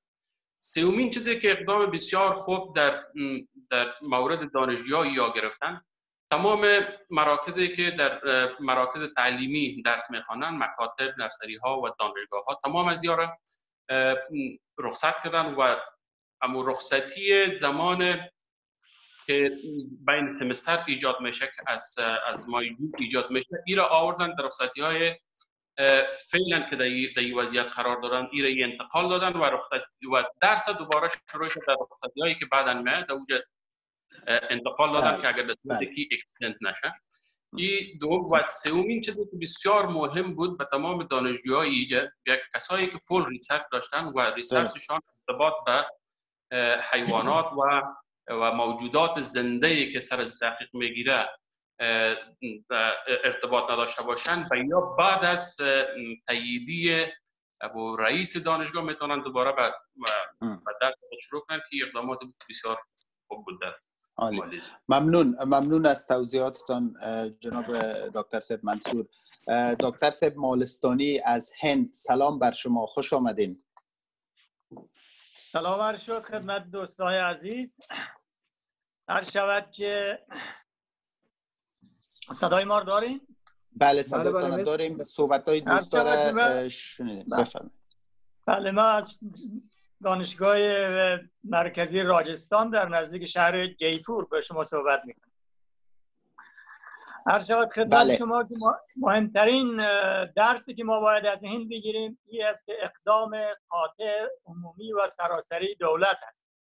برای اعلام قرنطین و محدودیت در تمام کشور و بسیار قاطع و اجرای قاطع آن. این چیزی است که دولت این نزدیک الان نزدیک دو الی هفته است این کار در یک کشور میلیاردی انجام داده. و تا حد زیاد موفق بوده است. یعنی تمام سرحدها مسدود است. سفر هوایی سفر زمینی قطار موتر همه چیز. من است و از شهر به شهر دیگه از ایالت به ایالت دیگه به هیچ عنوان مسافرت نیست. و در داخل شهرها هم به اه، برای کارهای ضروری مثل غذا و دوا و از چیزا و هم به ساعتهای محدود رفت آمد من است. این شاید کلانترین درس باشد و کلانترین قرنطینی است که در دنیا اعمال شده و نتیجه مثبت داشته است و باید کشور ما را اعمال بکنه به این معنا اگر هرات را مسدود می‌کردن کابل بدخشان جای دیگه مساب نمی‌شد. قسمت دیگری از کار فعال دولت هند این است که به طور فعال. افراد مصاب و افراد مشکوک را جستجو و پیدا می‌کنند نیروهای نظامی و نیروهای صحی در هر جایی که افراد مشکوک بوده است چه افراد مسا و چه اطرافی که نزدیک و با ارتباط به اونا بوده اونا رو جمع آوری و محلهای مخصوص هدایت کرده. مشکل دیگه این این است که در ایالت ها شهرها و جاهای مختلف تراکم نفوس بسیار زیاد است. به خانمان بسیار زیاد است مثل شهرهای کلان مثل منبع دهلی چنای و جاهای دیگه. دولت تلاش کرده است که برای افراد به خانمان جا پیدا بکنه غذا پیدا بکنه. اینا را از سرک ها از جاهای عمومی جمعآوری و تفکیک بکنه تا از شروع بیماری جلوگیری بکنه. و دکتر سب اما دکتر سب مالستانی بله. دکتر سب مالستانی ببخشید اشاره کنم به یک موضوع هند گفتین اقدامات بسیار شدید را وضع کرده چرا نه. آیا نگران این بوده که شهروندایش تمکین نکنه در برابر اه، مقرراتی که وضع میشه حتی در بعض موارد از خشونت کار گرفته پلیسش مثلا. برای اعمال قرنطین دقیقا. هر شود که دو... نزدیک دو ماه هست یعنی از اول فبروری تا حالا هند با این بیماری روبرو بودن در ابتدا به طور محلی اقدام می‌کرد. یعنی صرفا توریست های خارجی اینا رو کنترل می‌کرد ولی دید که این راه حل نیست و گسترش پیدا. دلیلش این است که هند مثل کشور ما یک کشور فقیر است. امکانات درمانی شفاخانه‌ای و کنترل بیماری بعد از مصاب بسیار کم است. اگر هند نفوس زیاد مبتلا شود خطر تلفات بسیار عظیم است.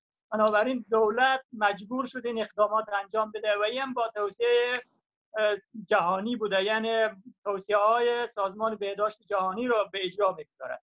چون راه حل دیگری نیست. این چیز در افغانستان هم هست. اگر تعداد نفوس زیاد مبتلا شود مستقیما تلفات بسیار زیاد خواهید داشت. و این بله. کار اینا باعث پایین آمدن مصاب و تلفات شده است. در این کشور میلیاردی حدود کم 4000 مصاب داریم و حدود 100 نفر تلفات داریم. این یک رکورد است برای کشور هند ممنون از توضیحاتتان. خواهش. اه، اه، اگر فرصت باقی بود دوباره برمیگردیم. آقای عبدالغنی احدی از ترکمنستان. سلام بر شما. بله.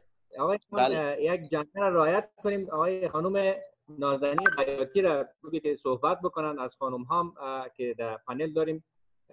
بله. من به ترتیب پیش میرم. به ترتیب پیش میرم. به اونا می‌رسم. حتما. بفرمایین آقای غنی احدی. آقای غنی احمدی آنلاین نشده. آقای احدی نشدن. بعداً آنلاین. درست. درست. پس از آقای پرویز مصمم می‌خوایم صحبت کنن از اندونزیا. سلام خدمت شما آقای قیام و همه عزیزانی که در پنل هستند و عزیزانی که از طریق Facebook live ما را می‌بینند. پرویز مصمم هستم دانشجوی مقطع مستری در کشور اندونزیا در شهر باندونگ نزدیک پایتخت جاکارتا در خدمت شما. بفرمایین اه، شما دوست ما قبلا از مالزیا توضیحات را دادن. اندونزیا و مالزیا ممکن است اقدامات مشابه را وضع کرده باشند. وضعیت در اندونزیا چگونه است؟ در اوایل همه ما زیاد ترس داشتیم به خاطر که اندونزیا روابط بسیار خوب تجارتی با چین داره و همچنان شهروندای چین در اندونزیا هستند سرمایه گذاری کردن و حتی زندگی می‌کنن. اما با او وجود ارقامی که فعلا وجود داره مثلا در کل اندونزیا 2491 نفر مصاب شدند 209 نفر فوت کردند و 192 نفر یعنی بیبود یافتن این آماره که بررسی می‌کنیم به این معنی است که اندونزیا با نفوس بیش از 270 میلیون تونسته که اقدامات خوب چرا؟ چه اقدامات مثلا کردن؟ اولین اقدام اندونزیایی بود که در 5 فوریه پروازها را با چین بسیار محدود کرد. حتی شهروندای خود آورد در اندونزیا و قرنطین کرد و گفت رفت آمد بسیار محدود هست و بین 5 فوریه تا 2 مارچ که اولین کیس نفری که مبتلا به ویروس کرونا در اندونزیا شد تقریبا یک ماه فاصله داشت اندونزیا از امو 5 فوریه اقدامات خود اتخاذ کرد. و یک موضوع دیگری بود که در قسمت وزارت صحت و اینا وزارت تکنولوژی و پژوهش از اینا بسیار نزدیک کار کرد.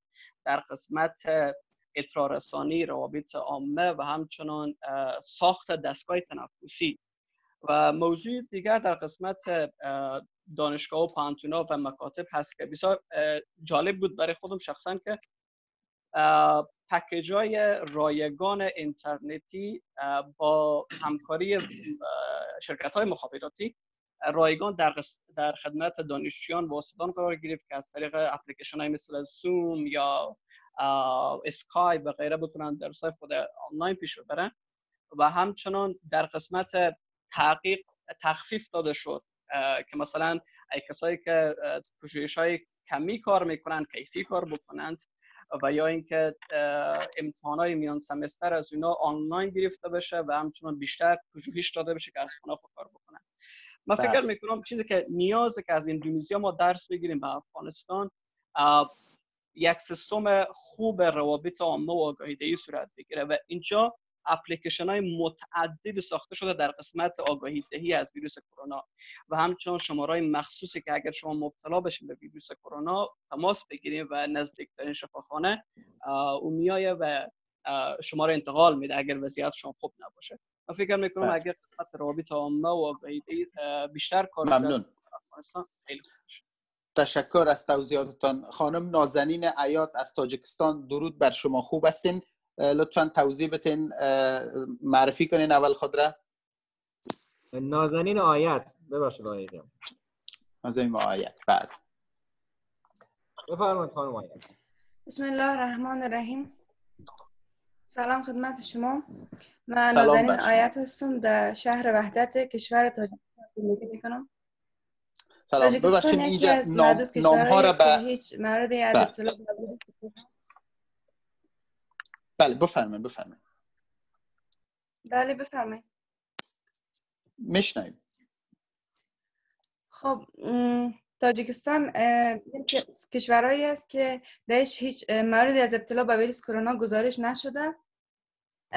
به دلیلی که در روز اول ماه فوریه تا پنجم مارچ توسط دولت تاجیکستان تقریبا نیم هزار نفر از کسایی که از خارج وارد کشور تاجیکستان شده بودند در بیمارستان های کشور قرنطینه شدن و بعد از گذراندن دوره 14 روزیشان بیشتر از 2000 نفرشان که صحتشان تایید شده بود تانستن به خانه خود برگردن و مطابقشان در بیمارستان ها ماندن.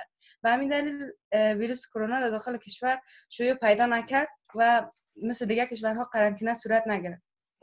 و به دلیل بعضی از شایعات مردم ابراز نگرانی کردن و کوشش می‌کنن که با احتیاط عمل کنن از ما دور کنن اینا.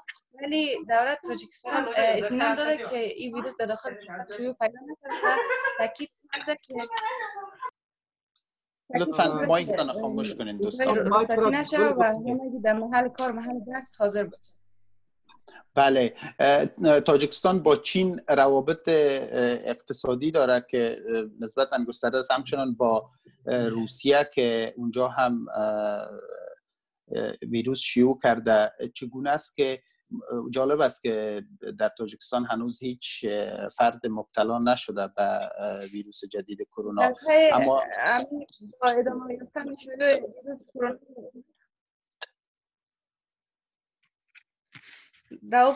مرزها بسته شده و روابط تجاری هم به تعویق انداخته شده به دلیل شروع ویروس کرونا. و به همین دلیل است که از دیگه کشورها وارد نشده. شوی پیدا نکرده. بله. خیلی تاجیکستان از محدود کشورهایی است که با وضعیت بسیار می‌تونیم بگیم خوب مواجه است در این بحران جهانی کرونا. ممنون از توضیحاتتان خانم آیت. نام ها را اینجا به این حروف انگلیسی نوشتن درست نفهمیدم که بله. آقای عبدالحمید منیر از هنگری. سلام بر شما.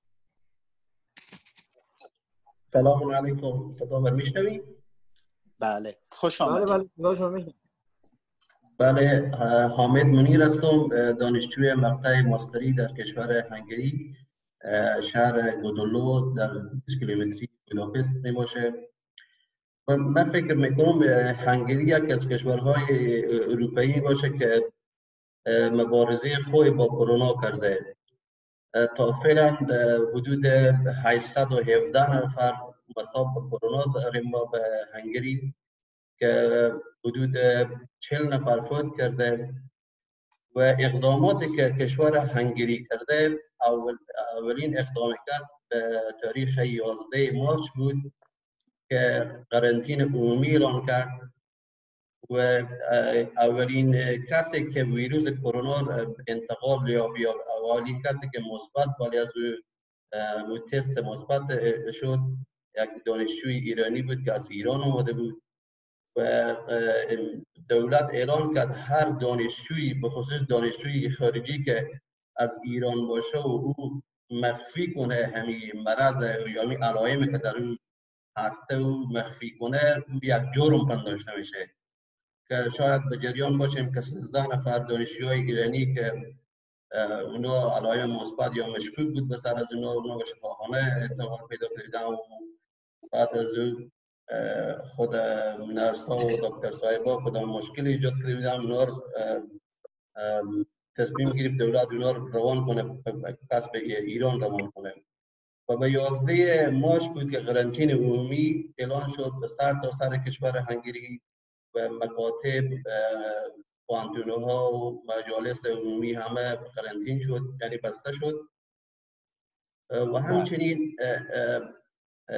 پروازهای خارجی پروازهایی که بیرون از کشور و همچنین با کسایی که از بیرون به هنگری می آمدن غیر از کسی وارد خاک هنگری می‌تونست بشه که طبیع می کشور باشه پاسپورت می کشور داشته باشه.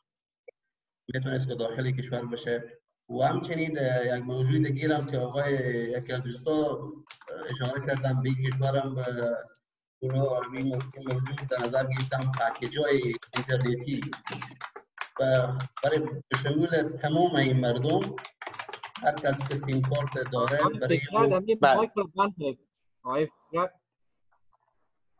بله میشنیم میشنیم بفرمایید. پکیج های اینترنتی که برای مردم که همه سیم کارت دارم برای پکیج های اینترنتی آمد که از اونا, اونا آگاهی پیدا کنم که اینترنت داشته باشم به هر جا اینترنت داشته باشم که خود چطور محافظت کنم معلومات یا آگاهی پیدا کنم. پکیج های رایگان برای اینا روان شد.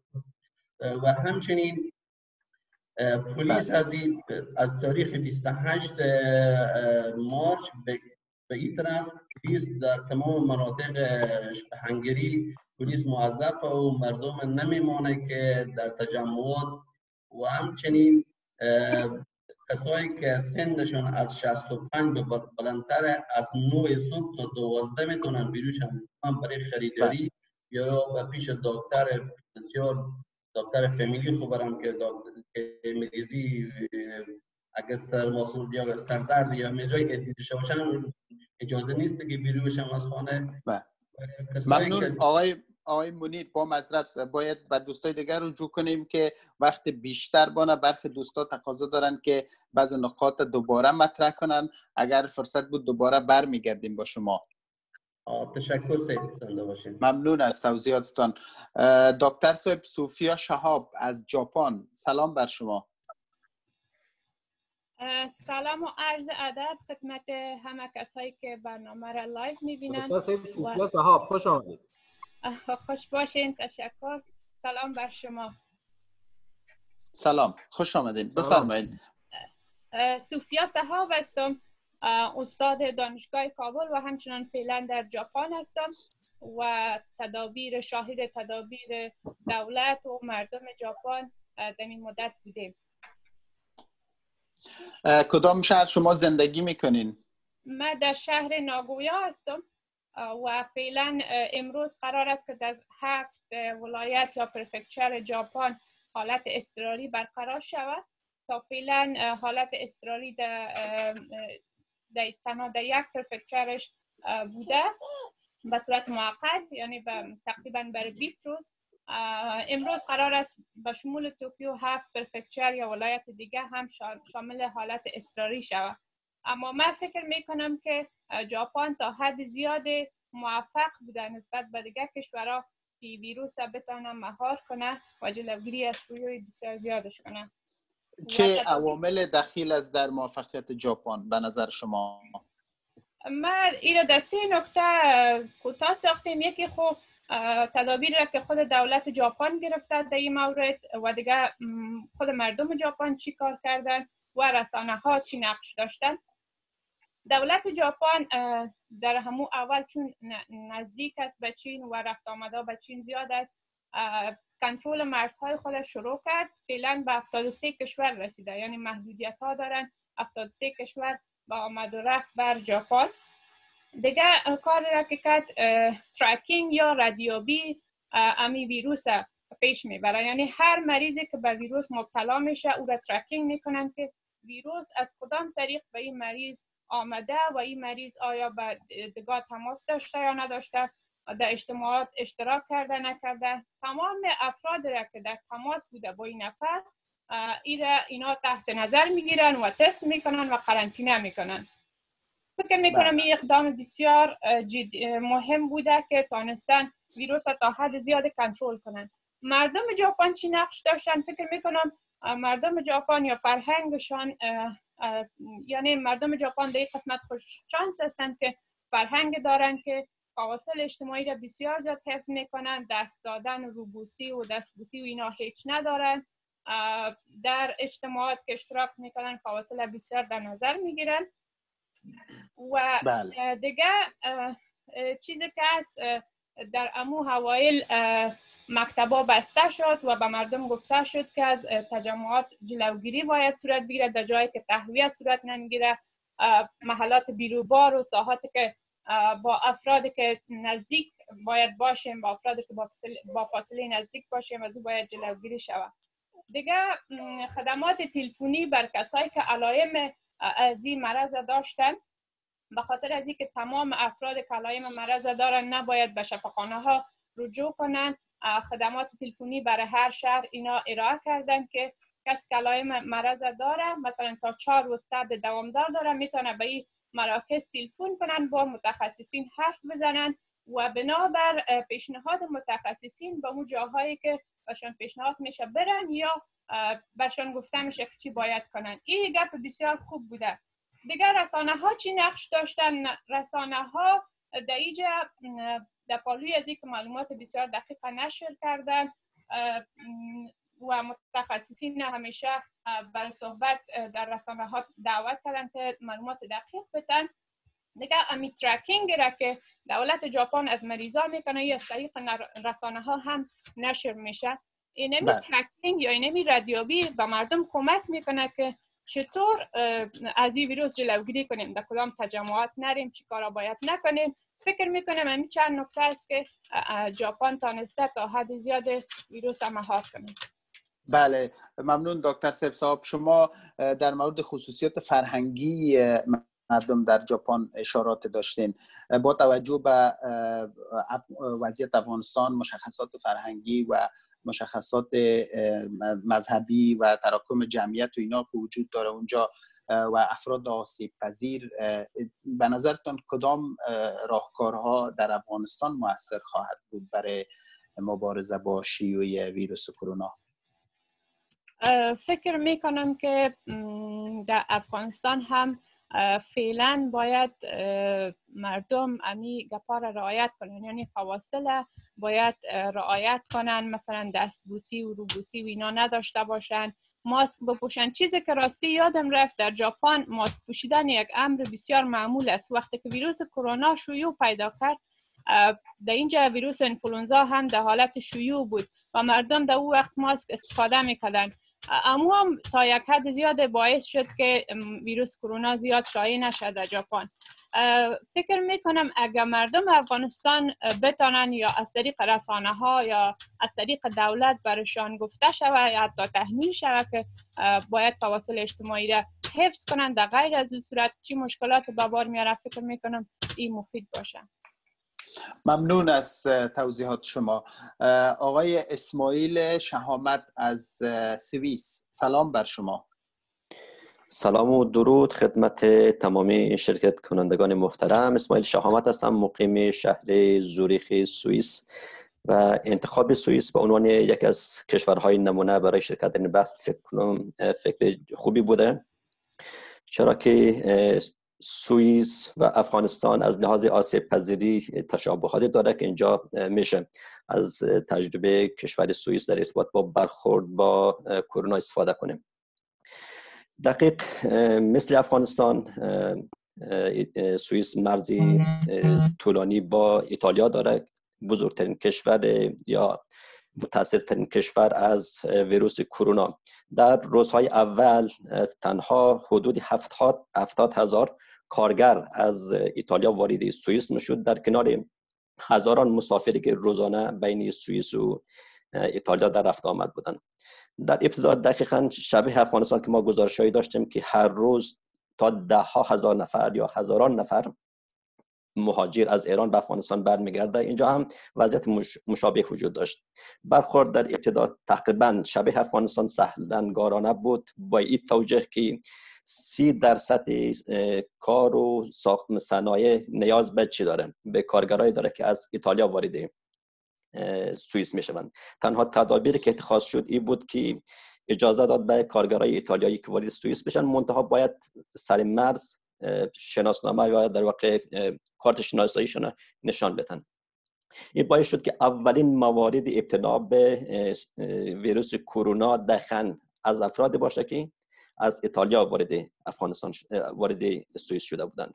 ابتدا در شهر مرزی تیچینو که هم مرز با ایتالیا است یکی دو مورد پیدا شد دوباره از شهر زوریخ ژنو دقیقا تمام افراد که متصل شده بودند. در واقع کسانی بودند که از ایتالیا وارد سوئیس شده بودند. لذا بر اساس آنچه که کارشناسا گفته سوئیس به لحاظ جمعیت و به لحاظ کوچکی بعد از ایتالیا دومین کشور متاثر از کرونا است. بیش از 20 نزدیک به 22 هزار مبتلا و حدود یک هزار مرگ و میر اینجا داره اما خب این تجربه میشه. این تجربه رو در افغانستان. البته خب خیلی در وقت مثل سوئیس اقدام کردن. مرز اسلام قلعه مرز افغانستان مرزهای غربی افغانستان با ایران خیلی دیر البته چه شد کنترل شد. اما هزاران نیرو فعلا وارد افغانستان شده که نیاز به چی داره؟ به کنترل داره. اما سوئیس حالا چیکار کرده؟ ضمن قرنطینه و کنترل شدید که مثل سایر کشورها وجود داره امکان تست سره ده دقیقه رو برای تمام شهروندا فراهم ساخته. به معنی که هر فرد که می‌خواید تست بده نیاز نیست که مجوز و در آخر نسخه دکتر یا پزشک داشته باشه می‌تونه آنلاین یک فرم پر کنه به یک سری سوالات پاسخ میده. بعد به مراکز به نزدیکترین مرکز اونجا میره تست میده. این سعی این, این امکان فراهم کرده تا ویروس کرونا این مقدار تحت کنترل قرار بگیره. اما یک موضوع دیگه که من می‌خوایم یک مقدار شبیه به وضعیت افغانستان داره استفاده کنیم. اینه که در افغانستان یک مقدار کامپاین و یا در واقع مبارزه برای کمک رسانی به افراد نیازمند اونجا شروع شده. اما وقتی دیده میشه یک لاری با باری از محموله های مثلا غذایی یه جا متوقف میشه نزدیک به 100 نفر نزدیک به بیش از 100 نفر اونجا جمع میشن و خیلی متاثر می‌سازه اما اینجا چطوره؟ اینجا افراد رضاکار و یا گروه های رضاکار شماره تماس ایمیل آدرس در اختیار مردم قرار میتن هر خانواده چی کسایی که مثلا پیرن نمی‌تونن بیرون بیان و یا در واقع نمی‌خوان بیرون بیان نیاز به کمک دارن از این طریق گروه های رضاکار مواد غذایی بله. و هر چی که مردم نیاز دارن اینا دمی در خونه ها بله. میرسانن. به این ترتیب این وضعیت کنترل میشه.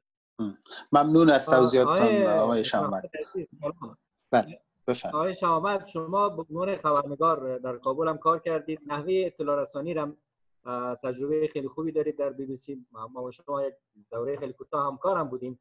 خاطرات خوش هم داریم. نحوه اطلاع رسانی رسانه ها نسبت به ویروس کرونا به چه طریقی هست؟ در اونجی. و در افغانستان به نظر شما باید به چه سیستمی یا به کدام پالیسی باشه و کدام خبرها را تحت پوشش قرار بده بله. یک سوال خیلی دقیق نگاه کنید. اینجا اطلاع رسانی بسیار چی هست؟ به صورت نرم بسیار به صورت خیلی گام به گام مرحله ای. از طریق پخش آگهی در فروشگاه ها گرفته تا حتی اتوبوس ها سرویس های عمومی رفت آمد. تابلوهای نصب کردن. اما خبرهای رسانه ها آکنده از خبرهای خیلی که وحشت و ترس و استراب ایجاد کنن نیست. خبرهای خیلی عادی خیلی بدونی که ترس و وحشت ایجاد کنه خبرها هست و اطلاعی مردم قرار می‌گیره وبسایت ها به صورت لحظه به لحظه گزارش لحظه به لحظه داره آمار اونجا میاد. اما خب افغانستان وضعیت چطوره؟ من حتی وقتی در تماس هستم با خانواده با دوستای که اونجا هستن اینا تنها ترس که داره لحظه که آگهی و یا در واقع خبری مربوط به کرونا پخش میشه. اطفال بچه های خورد تقریبا از لحاظ روانی متاثر از همچون وضعیت است. این اگر شرایط روانی مردم در نظر بگیریم یک بخش زیاد از مردم متاثر از اخباری که لحظه به لحظه در قالب آگهی در لابلای سریال ها فیلم ها و همینطور میان برنامه ها میاد. اینا چیزی که مردم خیلی متاثر ساخته اینجا اطلاع رسانی گام به گام صورت گرفت و به مرحله رسید که الان شهروند خودش می‌فهمه چطور با قضیه برخورد کنه چطور وضعیت کنترل کنه. ولی متاسفانه در افغانستان ما حتی فعالین شبکه های اجتماعی ما یک جوی از استراب ایجاد می‌کنه. حتی یک نفرم اگر مثلا جای متاثر میشه فوری یعنی نه یک نفر ده ها نفر میاد اونم مثلا گزارش میده. ما داریم بزرگ نمایی می‌کنیم استراب و استرس ایجاد می‌کنیم که یک مقدار از لحاظ صحی هم بدن ما رو نسبت به کرونا و این ویروس متاثر می‌سازه. این مدلی که اینجا به صورت نرم آرام اما در بله. افغانستان به اون شدت تمام ادامه داره متاسفانه. ممنونتان جناب شهامت آقای مشتاق حسینی از کانادا خوش آمدین. سلام بر شما. بله سلام علیکم. بسیار میبخشید قیام صاحب محترم می‌خواستیم این برنامه اضافی که داریم این است که در آخر ما یک برنامه نظرسنجی داریم که همین پنلست های ما کی در جایگاه اول است کی در جایگاه دوم است کی در جایگاه سوم است. یک آنلاین نظرسنجی باز میده بنابراین باز از دوستان می‌خوایم که در میرن که نظرسنجی را اول چون تابال تعداد مانده بنان نظرسنجی وقتی که تایم ما خلاص نظرسنجی می‌کنیم وامیده شده که در پنل کی خوبتر و آنفهمتر مسئله را امرای مردم افغانستان شریک ساخت. بنان در پنل ما کی جایگاه مقام اول دوم سوم چهارم داره. ای به ما در آخر باید از یک نظرسنجی داریم. اینجا ما سیستم جور کردیم ستاپ بازی کار پیش می‌بریم. تشکر. درست. درست است. ممنونتان آقای حسینی از کانادا بفرمایید. بله سلام علیکم. سلام به شما و به تمام دوستای عزیزی که در پنل هستند سید مشتاق حسینی هستم. باشنده کانادا شهر تورنتو. بله. کانادا در چه شرایط قرار داره و چه مسائل است که میشه از نظر شما او را به عنوان مثال های خوب به افغانستان منتقل کرد. فعلا کانادا که در قسمت اول اولین نفری که مصاب به این ویروس بود از کشور ایران بود که به اینجا آمده بودن. بعد از اول توجه خاصی دولت کانادا و مردمش نمی‌کردن زیاد. بعد از او روز در روز افزایش پیدا کرد که نزدیک 14 هزار نفر است. به نظر نزدیک 400 نفر اینجا تال مرگ و میر داشته. دیگه یک هزار نفر بهبود یافته و مشابهش است که زیاد در اوایل تمام مکاتب تمام دانشگاه ها تعطیل شد و به صورت آنلاین و افغانستان هم می‌تونه همین کار داشته باشه و تمام مارکت ها و تمام فروشگاه ها که در اینجا بود در هفته اول بسته شد و تا حال هم بسته است. مردم زیاد رفت آمد در داخل شهر ندارند و بیشتر مردم افغانستان هم همی ما که رفت بتیم به افغانستان این رقم میشه که مردم در قرنطین باشن در خانه باشن ولی در شب خانه زیاد نرون اگر کم بعضی دوستا هستن که اونجا ما میشنیم در رسانه که کم مریض گلوندردی یا دیگه دارن تشویش دارن بود میرن مراجعه می‌کنن یا می‌گیرن عمود مریضی رو دو اگه نداشته باشن می‌گیرن. من خودم کمبری گلوندرد و سردرد بودم. و فکر کردم که همون مرض مصاب شده بعد دکتر زنگ زدم اومد تست کرد دیگه. مرا نگو گفت شما باید در خانه باشین یک مدت یک هفته ببانین بعد از اون معلوم میشه که اگه مریضی تان شدت پیدا کرد. بعد شما می‌تونید زنگ بزنید. و مردم افغانستان هم همی تو در خانه هایشان باشن بهتر به صورت قرنطین. و همین مارکت های بزرگ همین کراچی ها را که ما روزانه در تلویزیون ها می‌بینیم. مردم رفت آمد در بازار دارن. همی کمتر و خوبتر است. این کمکام به گفته ای آقا که صورت می‌گیره کمکام پشت سر خانه هر نفر هم تو برده شوه بهتر است. تا ای که بله. مردم رو جمع شوند. ممنون از توضیحاتتان. بله. آقای جان علی رضایی از فرانسه درود بر شما. آقای جان علی رضایی. آقای رضایی نیستن خب بله. نفر بعدی. بله. ما پنلست های ما فعلا تمام شدن. چند پنلستی که حضور نداشت. من نمی‌دونم برگشتن تا حال یا خیر. آقای نصیر خالد از کانادا. نمی‌دونم حضور داره در حال حاضر یا خیر؟ غیر حاضر است. غیر حاضر هستن. درست. محترم. آقای کیام بله. عزیز. اگر کیام صاحب به اجازه شما خب مانده است. خب کسی یک نفر مانده. من اسم شما را ندیدم اینجا. شما لطفا خود را معرفی کنید. قاسمی گپ بزن. من حسن فکرت هستم ما منتظر بودم که شاید صحبت بکنیم. ما کم بله. کم ناامید شدم که چطور شده من شاید از آلمان حسن فکرت هستن از آلمان فعال مدنی. آقای فکرت. بفرمایید. ممنون از حوصله مندیتان. بفرمایید. سلام آقای کیام عزیز و همچنین دوستان عزیز. من صحبت های دوستان رو شنیدم. فکر می‌کنم که شاید تکرار مکررات باشه. من فقط در ارتباط با کشور جرمنی یک صحبت کلی می‌کنم در ارتباط با ای که چرا شدت ابتلا در این کشور بسیار بالا هست اما شدت تلفات بسیار پایین هست. من می‌خوایم ارجاع بدم دوستان را به ای که دولت آلمان از اوایل ماه مارچ میلادی یک اشتباه استراتژیک مرتکب شد در زمانی که تعداد مبتلایان به تعداد انگشتان دست می‌رسید. متاسفانه حکومت آلمان از همون ابتدا ارجحیت خودش گذاشت بر حمایت از سیستم اقتصادی کشور. و جای سلامت مردم و سیستم بهداشتی. شاید یک از عواملی که باعث شد که حکومت آلمان برگرده به ای که سیستم اقتصادی خودش در این بحران حفظ بکنه او غرور کاذبی بود که حکومت آلمان از سیستم بهداشتی پیشرفته کشور خودش داشت و رفته رفته در میانه ماه مارچ میلادی و زمانی که شیوع کرونا در کشور آلمان روز به روز گسترده تر شد باعث شد که این حکومت آلمان وضعیت بحرانی را درک بکنه و اقدامات جدیتر که یکی از دوستای ما از آلمان برخی از او اقدامات برشمردن. و من فکر می‌کنم که شاید ابتلای ابتلای بالای بیماران کرونایی در کشور آلمان به این دلیل باشه که محدوده سنی در کشور آلمان کسایی که مبتلا شدن بسیار پایین هست و حتی مرگ و میری هم که اتفاق افتاده بسیار به ندرت در سنین بالا در اواخر ماه مارچ میلادی رخ داد. و من فکر می‌کنم یک اقداماتی که در کشور افغانستان میشه روی دست گرفت. من خیلی به سرعت میگم فکر کنم شد زمان شما هم بسیار کم باشه.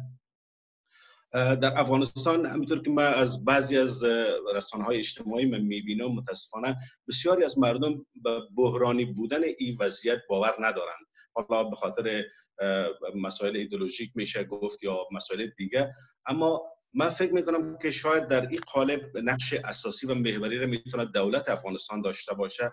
از طریق کسایی که صاحب نفوذ هستند در بین مردم مثل ملا امامان مسجد یا بزرگان قریه یا روستاها کسایی که می‌تونن در بین مردم حرفشان نفوذ داشته باشه از طریق اینها وارد عمل شوند و بحرانی بودن این شرایط به مردم گوشزد بکنند. من فکر می‌کنم که اصل قضیه به این هست که مردم باید باور بکنند که شرایط به گونه هست که ممکن است که در آینده نزدیک در یکی دو هفته آینده وضعیت افغانستان به مراتب وخیمتر از کشور ایتالیا یا فرانسه شود. به خاطر که سیستم بهداشتی در کشور افغانستان بسیار ضعیف هست و نیاز هست که مردم پیشگیری بکنند شرایط افغانستان در حال حاضر بسیار شرایط خوبی هست به خاطر که تعداد مبتلایان بسیار پایین هست هرچند خیلی نمیشه باورمند بود به این آمار اما این تعداد در این حالت بسیار می‌تونه از تجربیات کشورهای دیگه استفاده بکنه بله.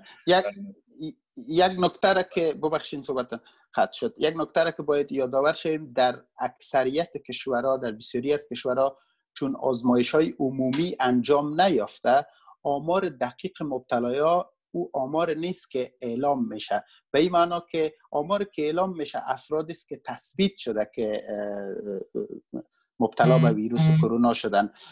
مثلا در سویدن دانشگاه ها پیش بینی می‌کنن که بین نیم تا یک میلیون نفر ممکن است مبتلا بشه در حالی که آمار رسمی بطور که علی جان لایقی از سویدن توضیح داد به حدود تقریبا هفت هزار نفر می‌رسه که او افرادی است که تشخیص شده. اما آمار به مراتب بیشتر از این است که تشخیص شده. در آلمان هم تست عمومی انجام نیافته و افغانستان همچنان. بفرمایید. در افغانستان فکر می‌کنم که همون روشی را که برخی از کشورهای اروپایی در پیش گرفتند فرض مثال فواصل اجتماعی را رعایت کردن و افراد در بیرون اجازه دارن برن اما فواصل خودشان بین یک تا دو متر باید حفظ بکنن.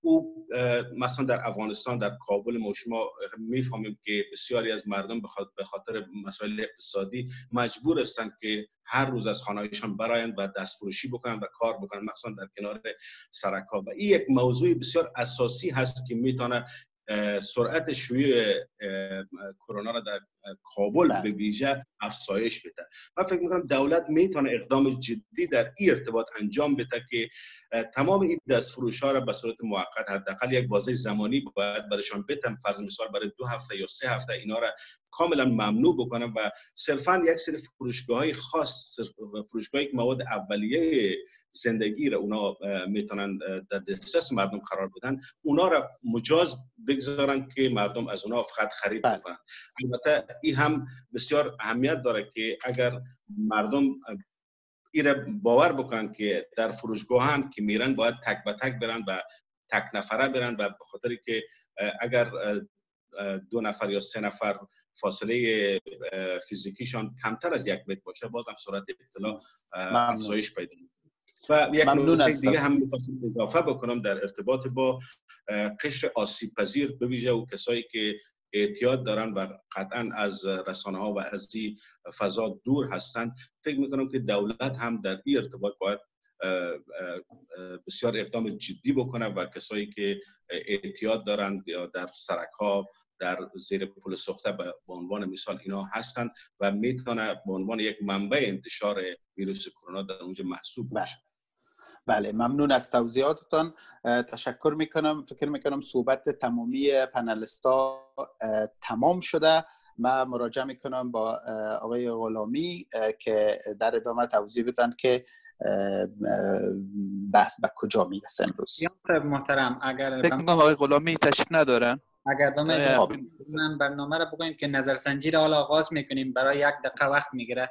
همین نظر تمام شد باز برنامه بعدی را شما میشه به دوستایی که وقت کم داده شده یا سوال دارن یا بعضی نظر دارن برایش وقت داده شود بنان نظر قسمی است که ما لیست تمام پنلست ها را داریم. از دید شهرونده و از دید خود پنلست ها کی در جایگاه نخست است. یعنی جایگاهی که پنلست از نقطه نظری که آن فهم صحبت کرده اما مسائل خوبتر مطرح کرده. یعنی ما یک نظرسنجی علمی داریم. بنان نظرسنجی را آغاز می‌کنیم. بر شما این دستگیرین شما میایه این به ده نفر اول است. ده نفر اول است. باز با ده نفر دوم داریم. باز پنج نفر بعدی. بنابراین ده نفر شما لطفا رای بتین از این ده نفر کی خوبتر؟ از نقطه نظر شما. آقای اقبین بسیار کار دشوار. همه به سهم خود بسیار خوب صحبت کردن و توضیحات بسیار مفید دادن. مطمئنا این کار دشوار است که بگویم کی اول از کی نیست کی خوب بود کی خوبتر بود. ولی ترتیبات کار شما هر طور که هست ما به مو ترتیب پیش میریم. باز به اساس تحقیق ما سرش کار می‌کنیم که همو کسی که مقام اول دوم می‌گیره اون ما دوباره انالایز می‌کنیم حرفایش و سیستم ما سیستم گفتمان از او یاد می‌گیره باز. که مطابق بسیار خوب. ساختار جملات در سیستم گفتمان ما سر سیستم گفتمان صحبت کار می‌کنیم. درست. ما می‌تونیم که از او یاد بگیریم. ایره بلا فاصله مثلا این آلا انجام بدیم یا فرصت فکر کردن همین لحظه فکر می‌کنم که مشکلی نباشه دوستا اگر در عرض نیم دقیقه می‌تونن کار انجام بدن. خیلی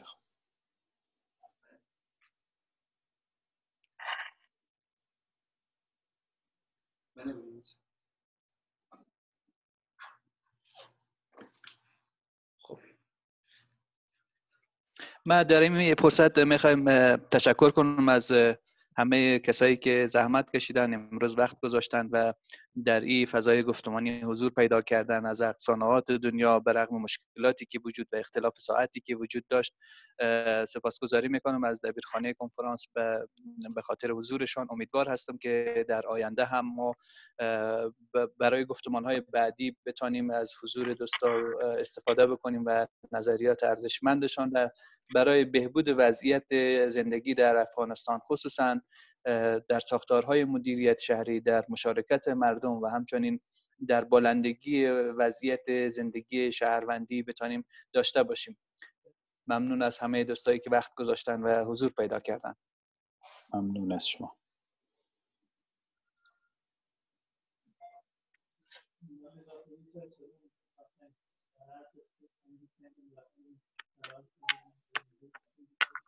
آقای قیام در خدمت شما هستیم. بحث را می‌تونیم ادامه بدیم به پیرامون موضوعاتی که آقای حقبین اشاره کردن. اگر دوستای صحبتی ادامه داشته باشه بله. مانده باشه یا بحثی وجود داره می‌تونیم جنبندی نهایی را داشته دوستا اگر لطف کنن شش اش نفر این رای داد. این هدف اساسی چیست که ما سیستم گفتمان داریم؟ که در سه گفتمان استفاده میشه اختصاص به گفتمان است. اون گفت سیستم تحلیل تجزیه می‌کنه صحبت ها را. بنابراین کسی که در مقام اول دوم سه می باشه ما از اونا رو دوباره ریویو می‌کنیم گپایشه و از او سیستم ای آی ترن می‌کنیم. بنابراین یک همکاری تحقیق است که همراه ما شما می‌کنیم دیگه ده نفر دیگه اگر زودتر امور جواب بتن که باز ما را کلوز کنیم. خیلی خوب. در حال جواب دادن است. بله.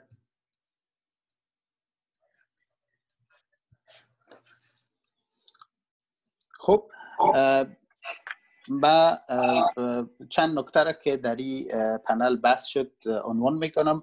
در بسیار کشورها تدابیر جدی قرنطین همزمان با تدابیر اقتصادی وضع شده. یعنی دولت بسته های حمایتی را برای شرکت های کوچک خصوصی و شرکت هایی که آسیب دیدن از به دلیل بحران ارائه کرده و همزمان به اقتصاد خانواره که به دلیل قرنطین وضع قرنطین از کار بیکار میشن کمک هزینه های ارائه شده.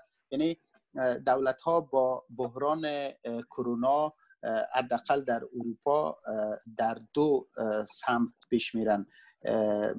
مسئله سلامت عمومی که در اولویت قرار داده و مسائل اقتصادی. وضع قرنطین شدید در کشور مثل افغانستان به هیچ عنوان خالی از صدمات جدی اقتصادی نخواهد بود و این به بحران اقتصادی در کشورم تجدید می‌کنه. مردم افغانستان در واقع با دو مسئله کرونا و گرسنگی مبارزه می‌کنن. فقر و گرسنگی. امیدوار هستم که صحبت هایی که امروز در این پنل صورت گرفت ازش استفاده مفید شود از طرف شهرداری کابل و دیگر اعضای ستاد مبارزه با کرونا که صحبت های خیلی عالی بود. من تشکر می‌کنم از حضور تک تک شما و مسائل زیاد است که میشه از این مباحث آموخت. قیام صاحب محترم به اجازه همه دوستا دوست ما بهزاد ریاسی. اونا رئیس سرسبزی ریاست شهرداری کابل بودن. ریاست رئیس ازبق حال اونا می‌خواین که در پیرامون امی نظری دارن. امرا اگر اجازه شما باشه دوستا باشه غلامی صاحب اوکی کرده است که صحبت کنه. بفرمایید. ریاسی صاحب محترم خوش آمدید.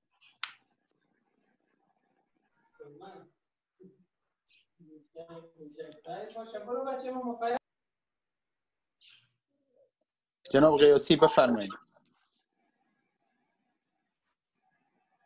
باش. حضور داره آقای قیاسی در جمع؟ ما چک کنم.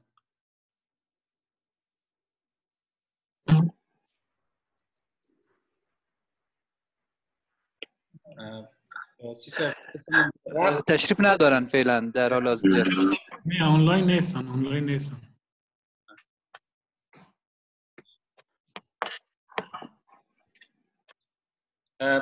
قیام صاحب محترم ریاسی صاحب نیستن دیگر شما میشه که جنبندی بکنین. و اگر بله صحبت خاص دیگر نیست. من بعضی صحبت ها رو کردم. اینجا من دکتر صاحب عبدالحد سهرابی رو می‌بینم که صحبت نکردن فکر می‌کنم. آقای دکتر سهرابی شما صحبت می‌کنید؟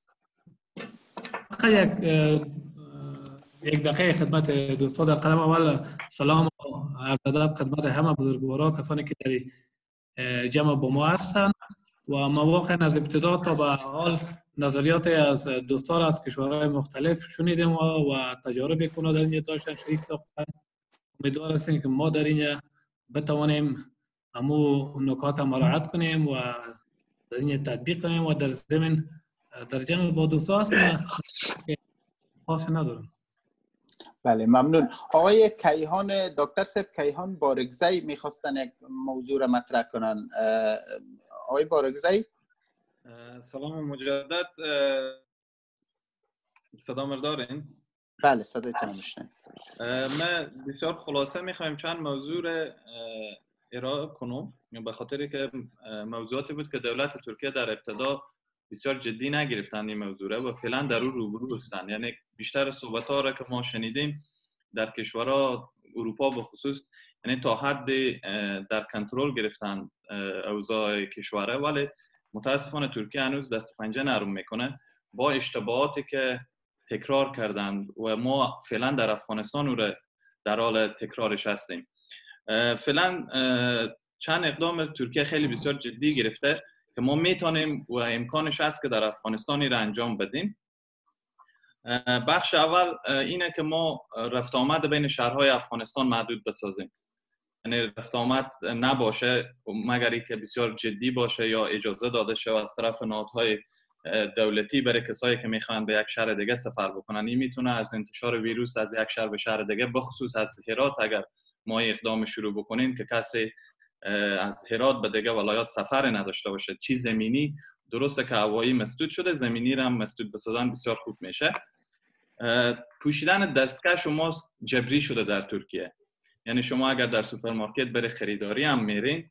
باید ماسک و دستکش بپوشیم که ماسک رایگان توزیع میشه از طرف دولت و فاصله اجتماعی باید رعایت شود. یعنی شما اگر در سوپرمارکت هم میرین باید فاصله یک دو متری را مراعات بکنین. موضوع سوم کودکان و اطفال زیر 20 سال که به عنوان اجازه رفت آمد به بیرون ندارن. به خاطر که مکاتب تعطیل شده. درس به صورت آنلاینه و ما این کار می‌تونیم. یعنی امکانش هست که در افغانستان هم انجام بدیم. نیازی نیست که کودکان با فامیل بیرون برند به خانه دوستا اقوام یا و همچنان کسایی که بالای 60 سال یا 65 سال هستند در ترکیه اجازه ورود داده نمیشه به جنوان کس خانه بیرون شوند و این کار ما هم می‌تونیم در مرحله اول در افغانستان انجام بدیم که بله. محدودیت سینی انجام بشه. موضوع بعدی که که در آخر مثل که مجبور شد انجام بده که ما هم هنوز ندادیم قرنطینه نمودن کسایی که از بیرون وارد افغانستان میشن وارد ترکیه میشن اونا برای 14 روز در قرنطینه عمومی میمانند. وقتی که تست از اونا مثبت یا منفی برآمد یا ساعت یا بودن می‌تونن اجازه دارن داخل شهر شوند. ولی در هرات این موضوع چندین بار گفته شد. هنوز دولت کدام اقدامی نکرده روزانه تعداد زیادی از شهروندای ما از مرز زمینی هرات وارد افغانستان میشن به خصوص هرات و تنها با یک تست عادی دماسنج اونا چک بله. میشن میان به هرات من نظر می اینه که ما در افغانستان سه اقدام باید جدی اول از هرات شروع بکنیم و بعدا با استپ های بعدی می‌تونید در دیگه ولایات ممنون. ایر انجام بدین و بخصوص آگاهی همه هنوز در افغانستان بسیار محدوده. محدود به فیسبوک محدود با کسایی که به اینترنت دسترسی دارند در قریجات در جای دوردست هنوز مردمی موضوع جدی نگرفتن. آگاهی عامه بعد از طریق میدیا دولت و تمام نهادها برای مردم داده شد تا ما در فاجعه مثل ترکیه گرفتار نشیم که در طی مدت ده روز تقریبا سی هزار نفر مبتلا است بله. ممنون از توضیحاتتون جناب بارکزی اگر اجازه باشه من در ارتباط با صحبت های آقای بارکزی صاحب یک نکته را می‌خواستم اضافه بکنم. کوتاه لطف کنین بفرمایید. جناب بارکزی صاحب گفتن که در ترکیه زدن ماسک اجباری شده. من می‌خواستم این صحبت ایشان رد بکنم به این خاطر که ثابت شده که زدن ماسک فقط در مکانهایی که جریان هوا وجود نداشته باشه اونجا می‌تونه مؤثریت داشته باشه. اما در فضای باز زمانی که هوا جریان داشته باشه زدن ماسک هیچ تأثیری نداره. حتی ممکنه که اثرات تخریبی هم بر خود فرد بگذاره. به خاطر که زدن ماسک ممکن است که همو تنفس نرمال یک فرد پیشگیری بکنه و سیستم ایمنی همو بدن ضعیف بکنه و آمادگی بیشتر پیدا بکنه برای که به بیماری مبتلا شود من فکر می‌کنم که توصیه جناب بارگزای صاحب در ارتباط با اجباری شدن استفاده از ماسک شاید در افغانستان به صورت عملی نباشه و درست نباشه. مگر در مکانهای سربسته و بسیار خارج از تهویه مثل شفاخانه ها یا بعضی جاهایی که امکان تهویه نداشته باشه. من فقط می‌خواستم که با عرض مدارت من با شما بله. با خاطر که اشاره من به بود که شما در سوپرمارکت ها اجازه یعنی نداشتن ماسک و دستکش اجباری است یعنی اگر شما برای خرید میرین در یک سوپرمارکتی که می‌دانین نفوس زیاد است در ترکیه و به این خاطر در فضای بسته منظور من همی بود که حتمی شده. و این هم دولت خود رایگان توزیع می‌کنه. برای تمام شهروندای ترکیه روزان هفته پنج ماسک از طریق پست می‌رسه به دم خانه. ما با شما موافقیم در بله.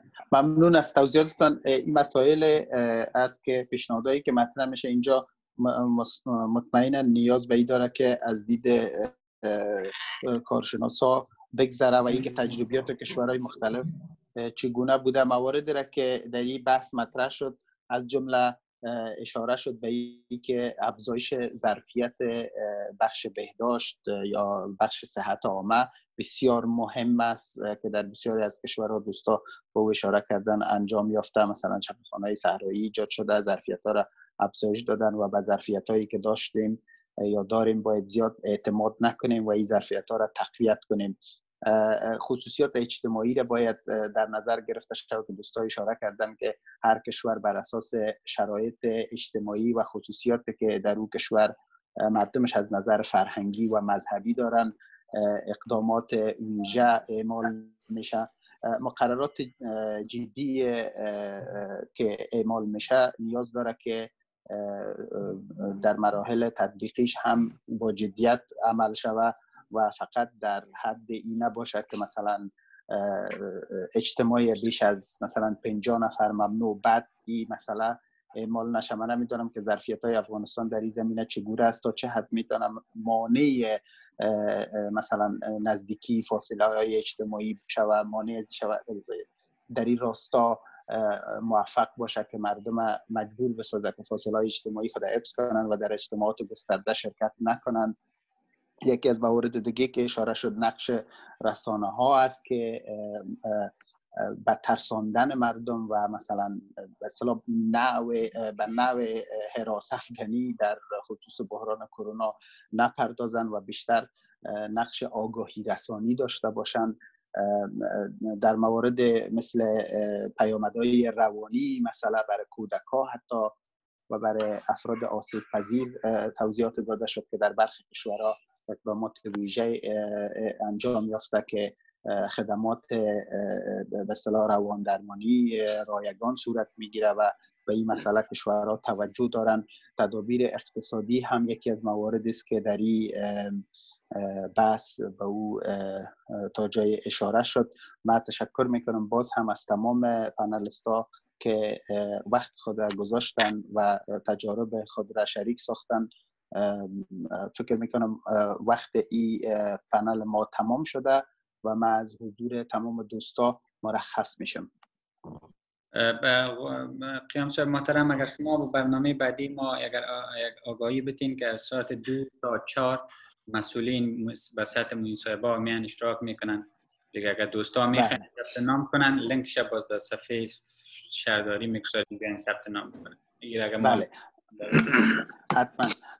پنل دوم ما که سهشنبه ساعت دو امروز ساعت دو به وقت کابل برگزار میشه. در مورد ای است که چگونه می‌تونیم کرونا را شکست بدهیم بر پایه نظر صاحب نظران و متخصصین رشته علوم صحی. یک ساعت این پنل وقتش فعلا گذاشته شده دو تا سه. آقای اکبین فکر می‌کنم که فرصت برای او هم وجود داره که طولانی در شود یا چگونه است؟ یا فقط بله. یک ساعت در نظر گرفته؟ دو تا چهار یعنی بکپ داریم مشکل نیست. خیلی خوب. و لینکش از طرف آقای حقبین فرستاده شده. اینجا در گروه فیسبوکی به همگی و همچنان در ایمیل پنلست های ما که می‌تونن با دوستای خود شریک بسازن به عنوان بیننده در این پنل حضور پیدا کنن و پنلست های پنل بعدی ما حدود هفت نفر هستند که نامایشان متاسفانه من اینجا خونده نمی‌تونم میشه که من کنم لطفا بخوانید یک تا سه حضور هست. ما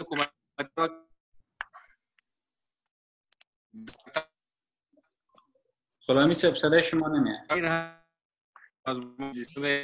من قاسم مویلیسی داریم دکتر معین خدمات شاروالی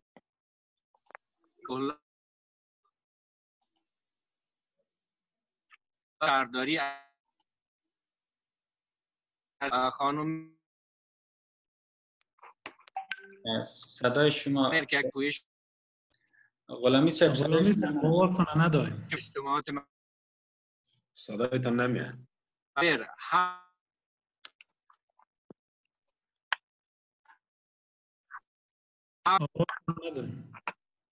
نه بر میشه بین شما برای بگوین اگر اون اینترنت قوی تر باشه. ما به اجازه دوستا لست یک دو دوست دیگه ما اضافه شده. یکی از محمد قاسم حیدری معین وزارت مبارزه با حوادث است و دیگر سخنران ما معین خدمات شهری شهرداری کابل است و دیگر دکتر خاص بسیر هستن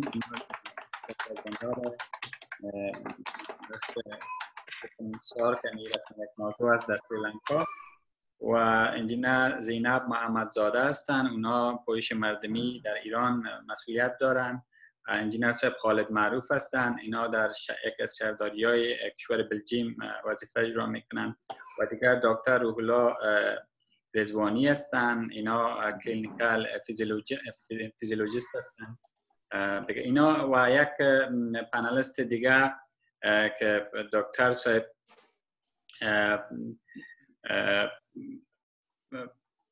یک قسمت اسمشان برای فرستاده بودن.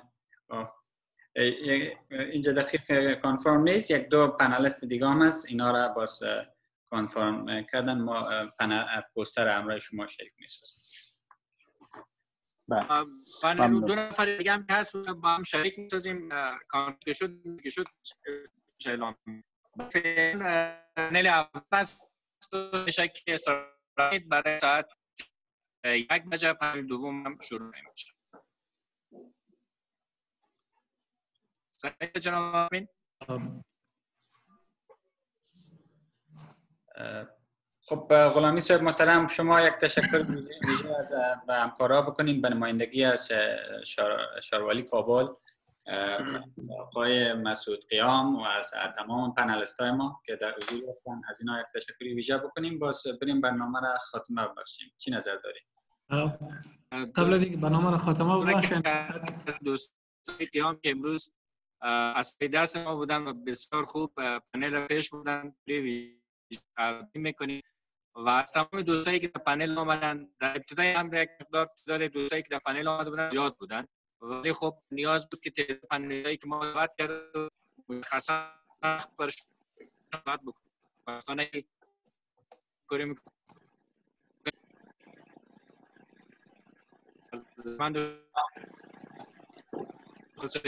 صدا بسیار ضعیف. کنم فکر کنم دکتر صاحب سهرابی و دکتر صاحب اقبال شما میشه که امیر هماهنگ کنین تشکری کنین از غلام کمی مشکل داره. درست از ما. با غلام سنی هماهنگ می‌کنیم و یک امیر خواستم خدمت دوست ما ریان شارولی کابل جناب آقای امیری هم تشکر که زیاد است. که از Facebook Live و از آدرس شاروالی کابل برنامه را به صورت نشر بکنیم. از تمام panelist ان تشکر می‌کنیم که وقت خود را دادن می‌دانیم که time ما در کابل با اونا کاملا متفاوت است اکثرا در غرب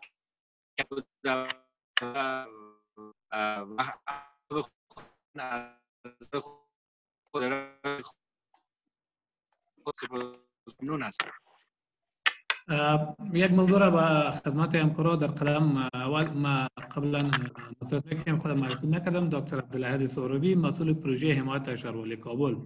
جا داره دکتر صاحب حق بین. در این راستا تشکری کنم که واقعا از دو ماه به این طرف که امروز ما شما بینید برنامه نیست که یک هفته یا در روز بالای کارش از دو ماه به این طرف بسیار مشتاقانه بالای سیستم کار کردن و جناب دکتر سب اقبال جناب انجینر سب غلامی زهرا جان با دیگر دوستا بسیار همکاری تنگ و تنگ داشتیم که برنامه را به پیش بردیم و خوشبختانه که امروز ما دوستا را از کشورهای مختلف داریم که همیشه نتیجه زحمات دکتر سب حقوین می‌زنیم و همچنان از قیام سایت تشکر می‌کنیم که برنامه را بسیار خوب به پیش بردن و دیگر دوستای ما هم نظریات نیکی داشتن. امیدوار هستیم که ما شما نظریات که شریک می‌کنیم از این به خصوص کسانی که در کابل قرار دارن یا در افغانستان قرار دارن از این تجارب استفاده خوب کرده بتنن و بیشتر رئیس غلامی که واقعا محصول بخش خدمات صحی می باشن که دی راستا ما بتانیم کاری کرده بتانیم باز هم تشکر از همه دوستان. تشکر از شما. تشکر از همگی. خسته نباشیم دوستان می‌تونن که خودشان برن برنامه ما تا چند وقت به حالت عادی میمانه. باز با درود. سلام سلام جو ساعت من بخیر تشکر جناب یقین زحمت دوستای گواهی مجددا تشکر سلامت باشید. لطف دارید. ممنون از اینکه فرصت دادید اجازه. برنامه مایک خاموش. غلامی صاحب مایک خاموش بکنم دیگه. آیا یقین میشه نشرات زنده رم قطع کنید لطفا؟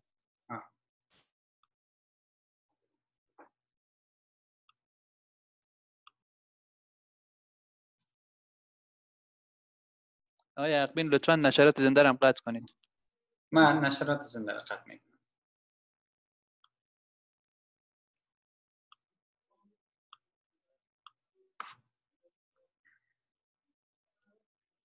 نشرات قطع شد نشرات زنده قطع شد. دیگه دوستا می‌تونن که بعد از که امرای ما دو ساعت فکر کنم زیاد شد طولانی هم شد خیلی خسته نباشید. و تشکر از که برنامه را موفق ساختین و تانسته باشیم از این طریق به شهروندان افغانستان آگاهی دهی شده باشه دیگه خیلی خوش شده می‌تونیم که میتینگ هم لیف کنیم. دکتر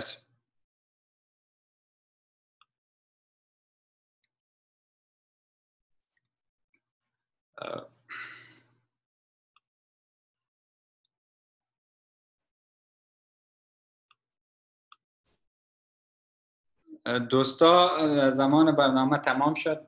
دیگه نشرات زندان تمام شد. ما می‌تونیم که بریم چون که اینجا ما میزبان هستیم در آخر حرف دکتر صاحب مالستانی باید امو اصول همی است که میمان در خانه می باشه میزبان در خانه می باشه تا که میمان نره در از در خانه. بله صدای من